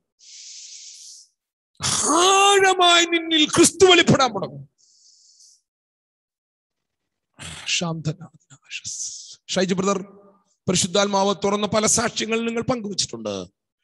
പക്ഷേ പരിശുദ്ധാത്മാവ് നിങ്ങളെ ഒന്നുകൂടെ ക്രിസ്തുവിലേക്ക് വരങ്ങൾ അതിന്റെ ആഴങ്ങൾ കൊണ്ടുപോകുന്ന ദൈവജ്ഞാനത്തിലേക്ക് ദൈവാത്മ നിങ്ങളെ ഇറക്കി കൊണ്ടുപോകാൻ തുടങ്ങും ഓ ക്രിസ്തു നിങ്ങളിൽ ക്രിസ്തു നിങ്ങളുടെ മനസ്സിനകത്ത് ആഴമായി റിവീലാകും റിവീലാകും ആഴമായി അത് തുറന്നു വരും. ആ പ്രസൻസ് നിന്നിൽ കൂടെ വ്യാപരിക്കാൻ തുടങ്ങും.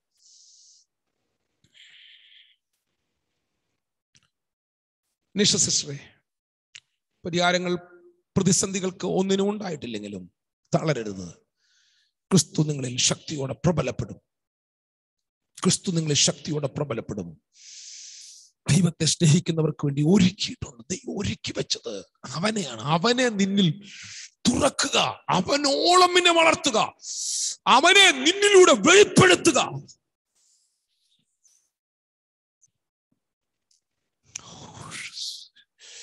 ആ അഞ്ച് സിസ്റ്റർ മേലെ അതങ്ങ് കത്തുന്നുണ്ട് അതങ്ങ് കത്തുന്നുണ്ട്. ആ വേട് അങ്ങ് കത്തുന്നുണ്ട്. ആ വേട് നിന്റെ ബോഡിയിൽ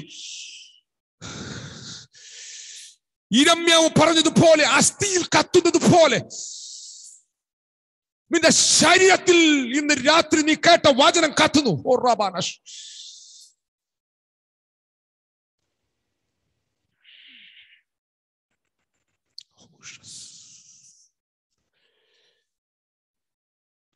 നിശ്വസിച്ച കർത്താവ് നിങ്ങളെ. കൈവിട്ടു എന്ന് ചിന്തിക്കുന്ന തോന്നുന്ന വ്യാകുലപ്പെടുന്ന തളരുന്ന തകർന്ന സ്റ്റേജുകൾ.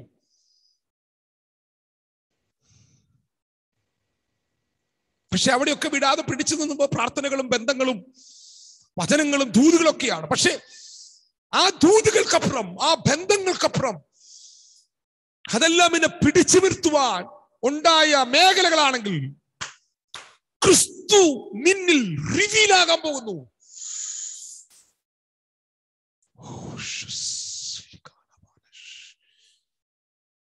പല പഠനങ്ങളും തെറ്റും. പല അറിവുകളും തെറ്റും.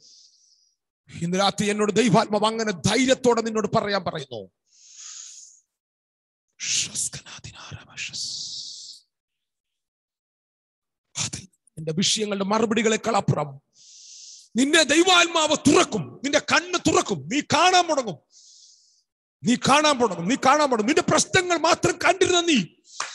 നിന്റെ വേദനകൾ മാത്രം കണ്ടിരുന്ന നീ. അറാബാനാശസ്കര നിന്റെ തലമുറയെ മാത്രം കണ്ടിരുന്ന നീ. നിന്റെ കുടുംബത്തെ നിന്റെ അവസ്ഥകളെ നിന്റെ പ്രശ്നങ്ങളെ നിന്റെ സാമ്പത്തിക ഓ അതിനപ്പുറം അതിനപ്പുറം നീ അവനെ കാണാൻ തുടങ്ങും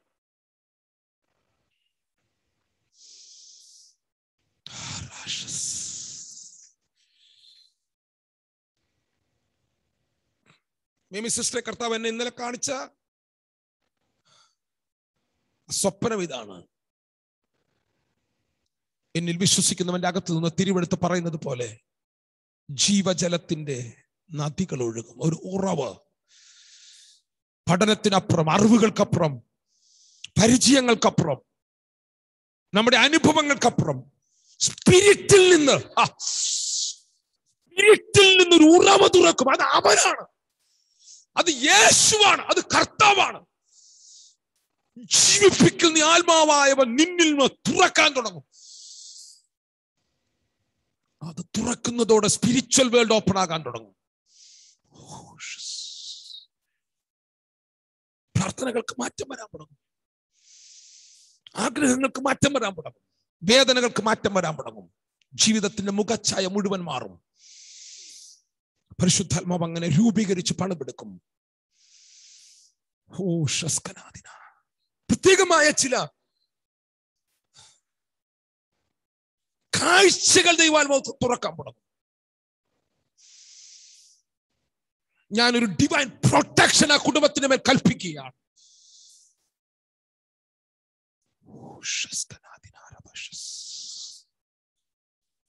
കർത്താവ് നീ അടിയനെ കാണിച്ച ആ ഉറവ് തെളിഞ്ഞ ഉറവുള്ള വെള്ളം. അത് കലങ്ങാൻ അനുവദിക്കരുത്. അബ്രഹാമിന്റെ കാലത്ത് കുഴിച്ച കിണർ ഇസഹാക്കിന്റെ കാലത്ത് വീണ്ടും തുറന്നതുപോലെ. അത് മൂടിക്കളഞ്ഞ അഭിമലേഖിന്റെ ഇടയന്മാർ നോക്കി നിൽക്കെ അബ്രഹാം വീണ്ടും വീണ്ടും അത് കുടിച്ചതുപോലെ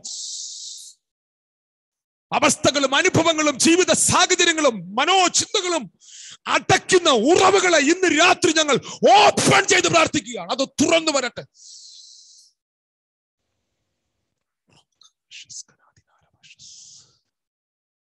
അഞ്ചു നിന്റെ മുറിക്കകത്ത് ഞാൻ അത് ഒഴുകുന്ന എനിക്ക് കാണാം. ഒരു കാറ്റ് പോലെ നിന്റെ ശരീരത്തിൽ അത് അടിക്കുന്നത് എനിക്ക് കാണാം.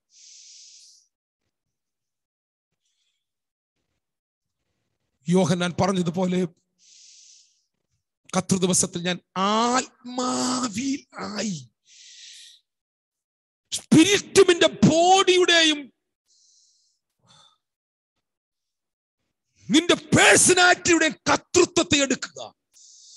നിന്നെ അതിനകത്തേക്ക് ദൈവാത്മാവ് ഇമേഴ്സ് ആക്കുക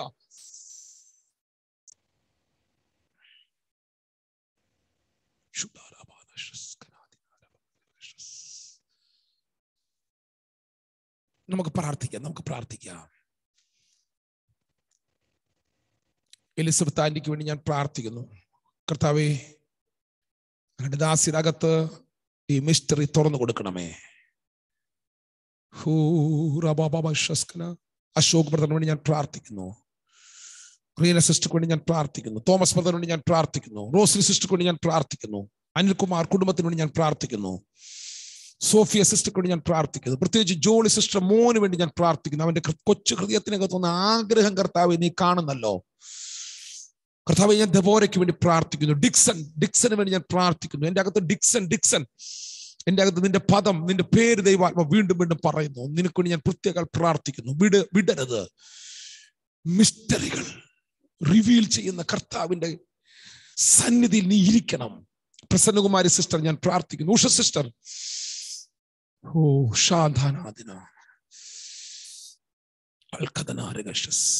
ബ്രദർ കുടുംബത്തിനായി ഞാൻ പ്രാർത്ഥിക്കുന്നു. ഹോ ലത സിസ്റ്റർ ഞാൻ പ്രസാദങ്ങൾ കുടുംബത്തിന് ഞാൻ പ്രാർത്ഥിക്കുന്നു. സന്തോഷ് ബ്രദർ കുടുംബത്തിനായി. ഡയാന ഓരോ കുടുംബങ്ങൾ ലിനി സിസ്റ്റർ ഹോ സജി സിസ്റ്റർ ഞാൻ പ്രാർത്ഥിക്കുന്നു. ഓരോ കുടുംബങ്ങൾക്ക് മീനു ബ്രദർ റോ ബാബാ ശാന്തൽ ഘടകധന ഹൽക്കധന ഘടകധന വൈഷസ് കനക എനിക്കറിയാം എനിക്കറിയാം കുടുംബങ്ങൾ ഇത് റിവീൽ ആകും. റജി കുടുംബത്തിന് വേണ്ടി ഞാൻ പ്രാർത്ഥിക്കുന്നു. ഹോ റബ ഷസ്ക് ജേക്കബ് ബ്രദർ കുടുംബത്തിനായി. സുമ സിസ്റ്റർ ഹോ ഷസ്കന ചുടാറബ ഹന്തൽ കടക ജസ്റ്റിൻ ബ്രദർ ഞാൻ നിനക്ക് വേണ്ടി പ്രാർത്ഥിക്കുന്നു. ഹോ. ഗ്രേസി ടീച്ചർ ഞാൻ പ്രാർത്ഥിക്കുന്നു. ഡെൽഫി സിസ്റ്റർ ഹോ. കർത്താവേ ഡേസി സിസ്റ്റർ റെപ്പായ് ഡേസി ഡെപ്പായ്. ഞാൻ ആ കുടുംബത്തിന് പ്രാർത്ഥിക്കുന്നു. ജോസഫ് മോനെ ഞാൻ നിനക്ക് വേണ്ടി പ്രാർത്ഥിക്കുന്നു. നിഷ ബിജു ഞാൻ നിനക്ക് വേണ്ടി പ്രാർത്ഥിക്കുന്നു. ഓരോ കുടുംബങ്ങളും ഇത് ആകാൻ. മിസ്റ്ററി റിവീൽ ആകാൻ വിപിൻ ഞാൻ അവനെ കൊണ്ട് പ്രാർത്ഥിക്കുന്നു. ലിൻഡോ.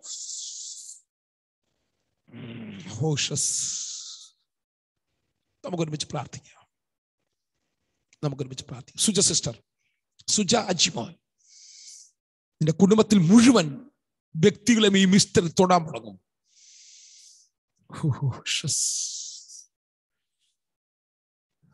ഡയസ്റ്ററിയാൻ. കർത്താവ് ഈ മിസ്റ്ററികൾ ഓപ്പൺ ചെയ്യുന്നതും മിനിസ്ട്രിയുടെ മേഖലകളെ പരിശുദ്ധ ശക്തിയോടെ തുറക്കാൻ തുടങ്ങും. രാധ സിസ്റ്റർ കുടുംബം നിങ്ങളുടെ കുടുംബത്തിനകത്ത് പരിശുദ്ധാത്മാവ് മിസ്റ്ററികൾ തുറക്കും. കർത്താവിന്റെ സന്നിധി ഇരിക്കണം. അവനോട് പറ്റിയിരിക്കുക അവനോട് പറ്റിയിരിക്കുക. നമുക്ക് ഒരുമിച്ച് പ്രാർത്ഥിക്കാം. മനോജ് ഭാഷറെ മനോജ് ഭാഷ നമ്മുടെ നടിയിലുണ്ട് മനോജ് ഭാഷ പ്രാർത്ഥിച്ച് ആശുവാദത്തോടെ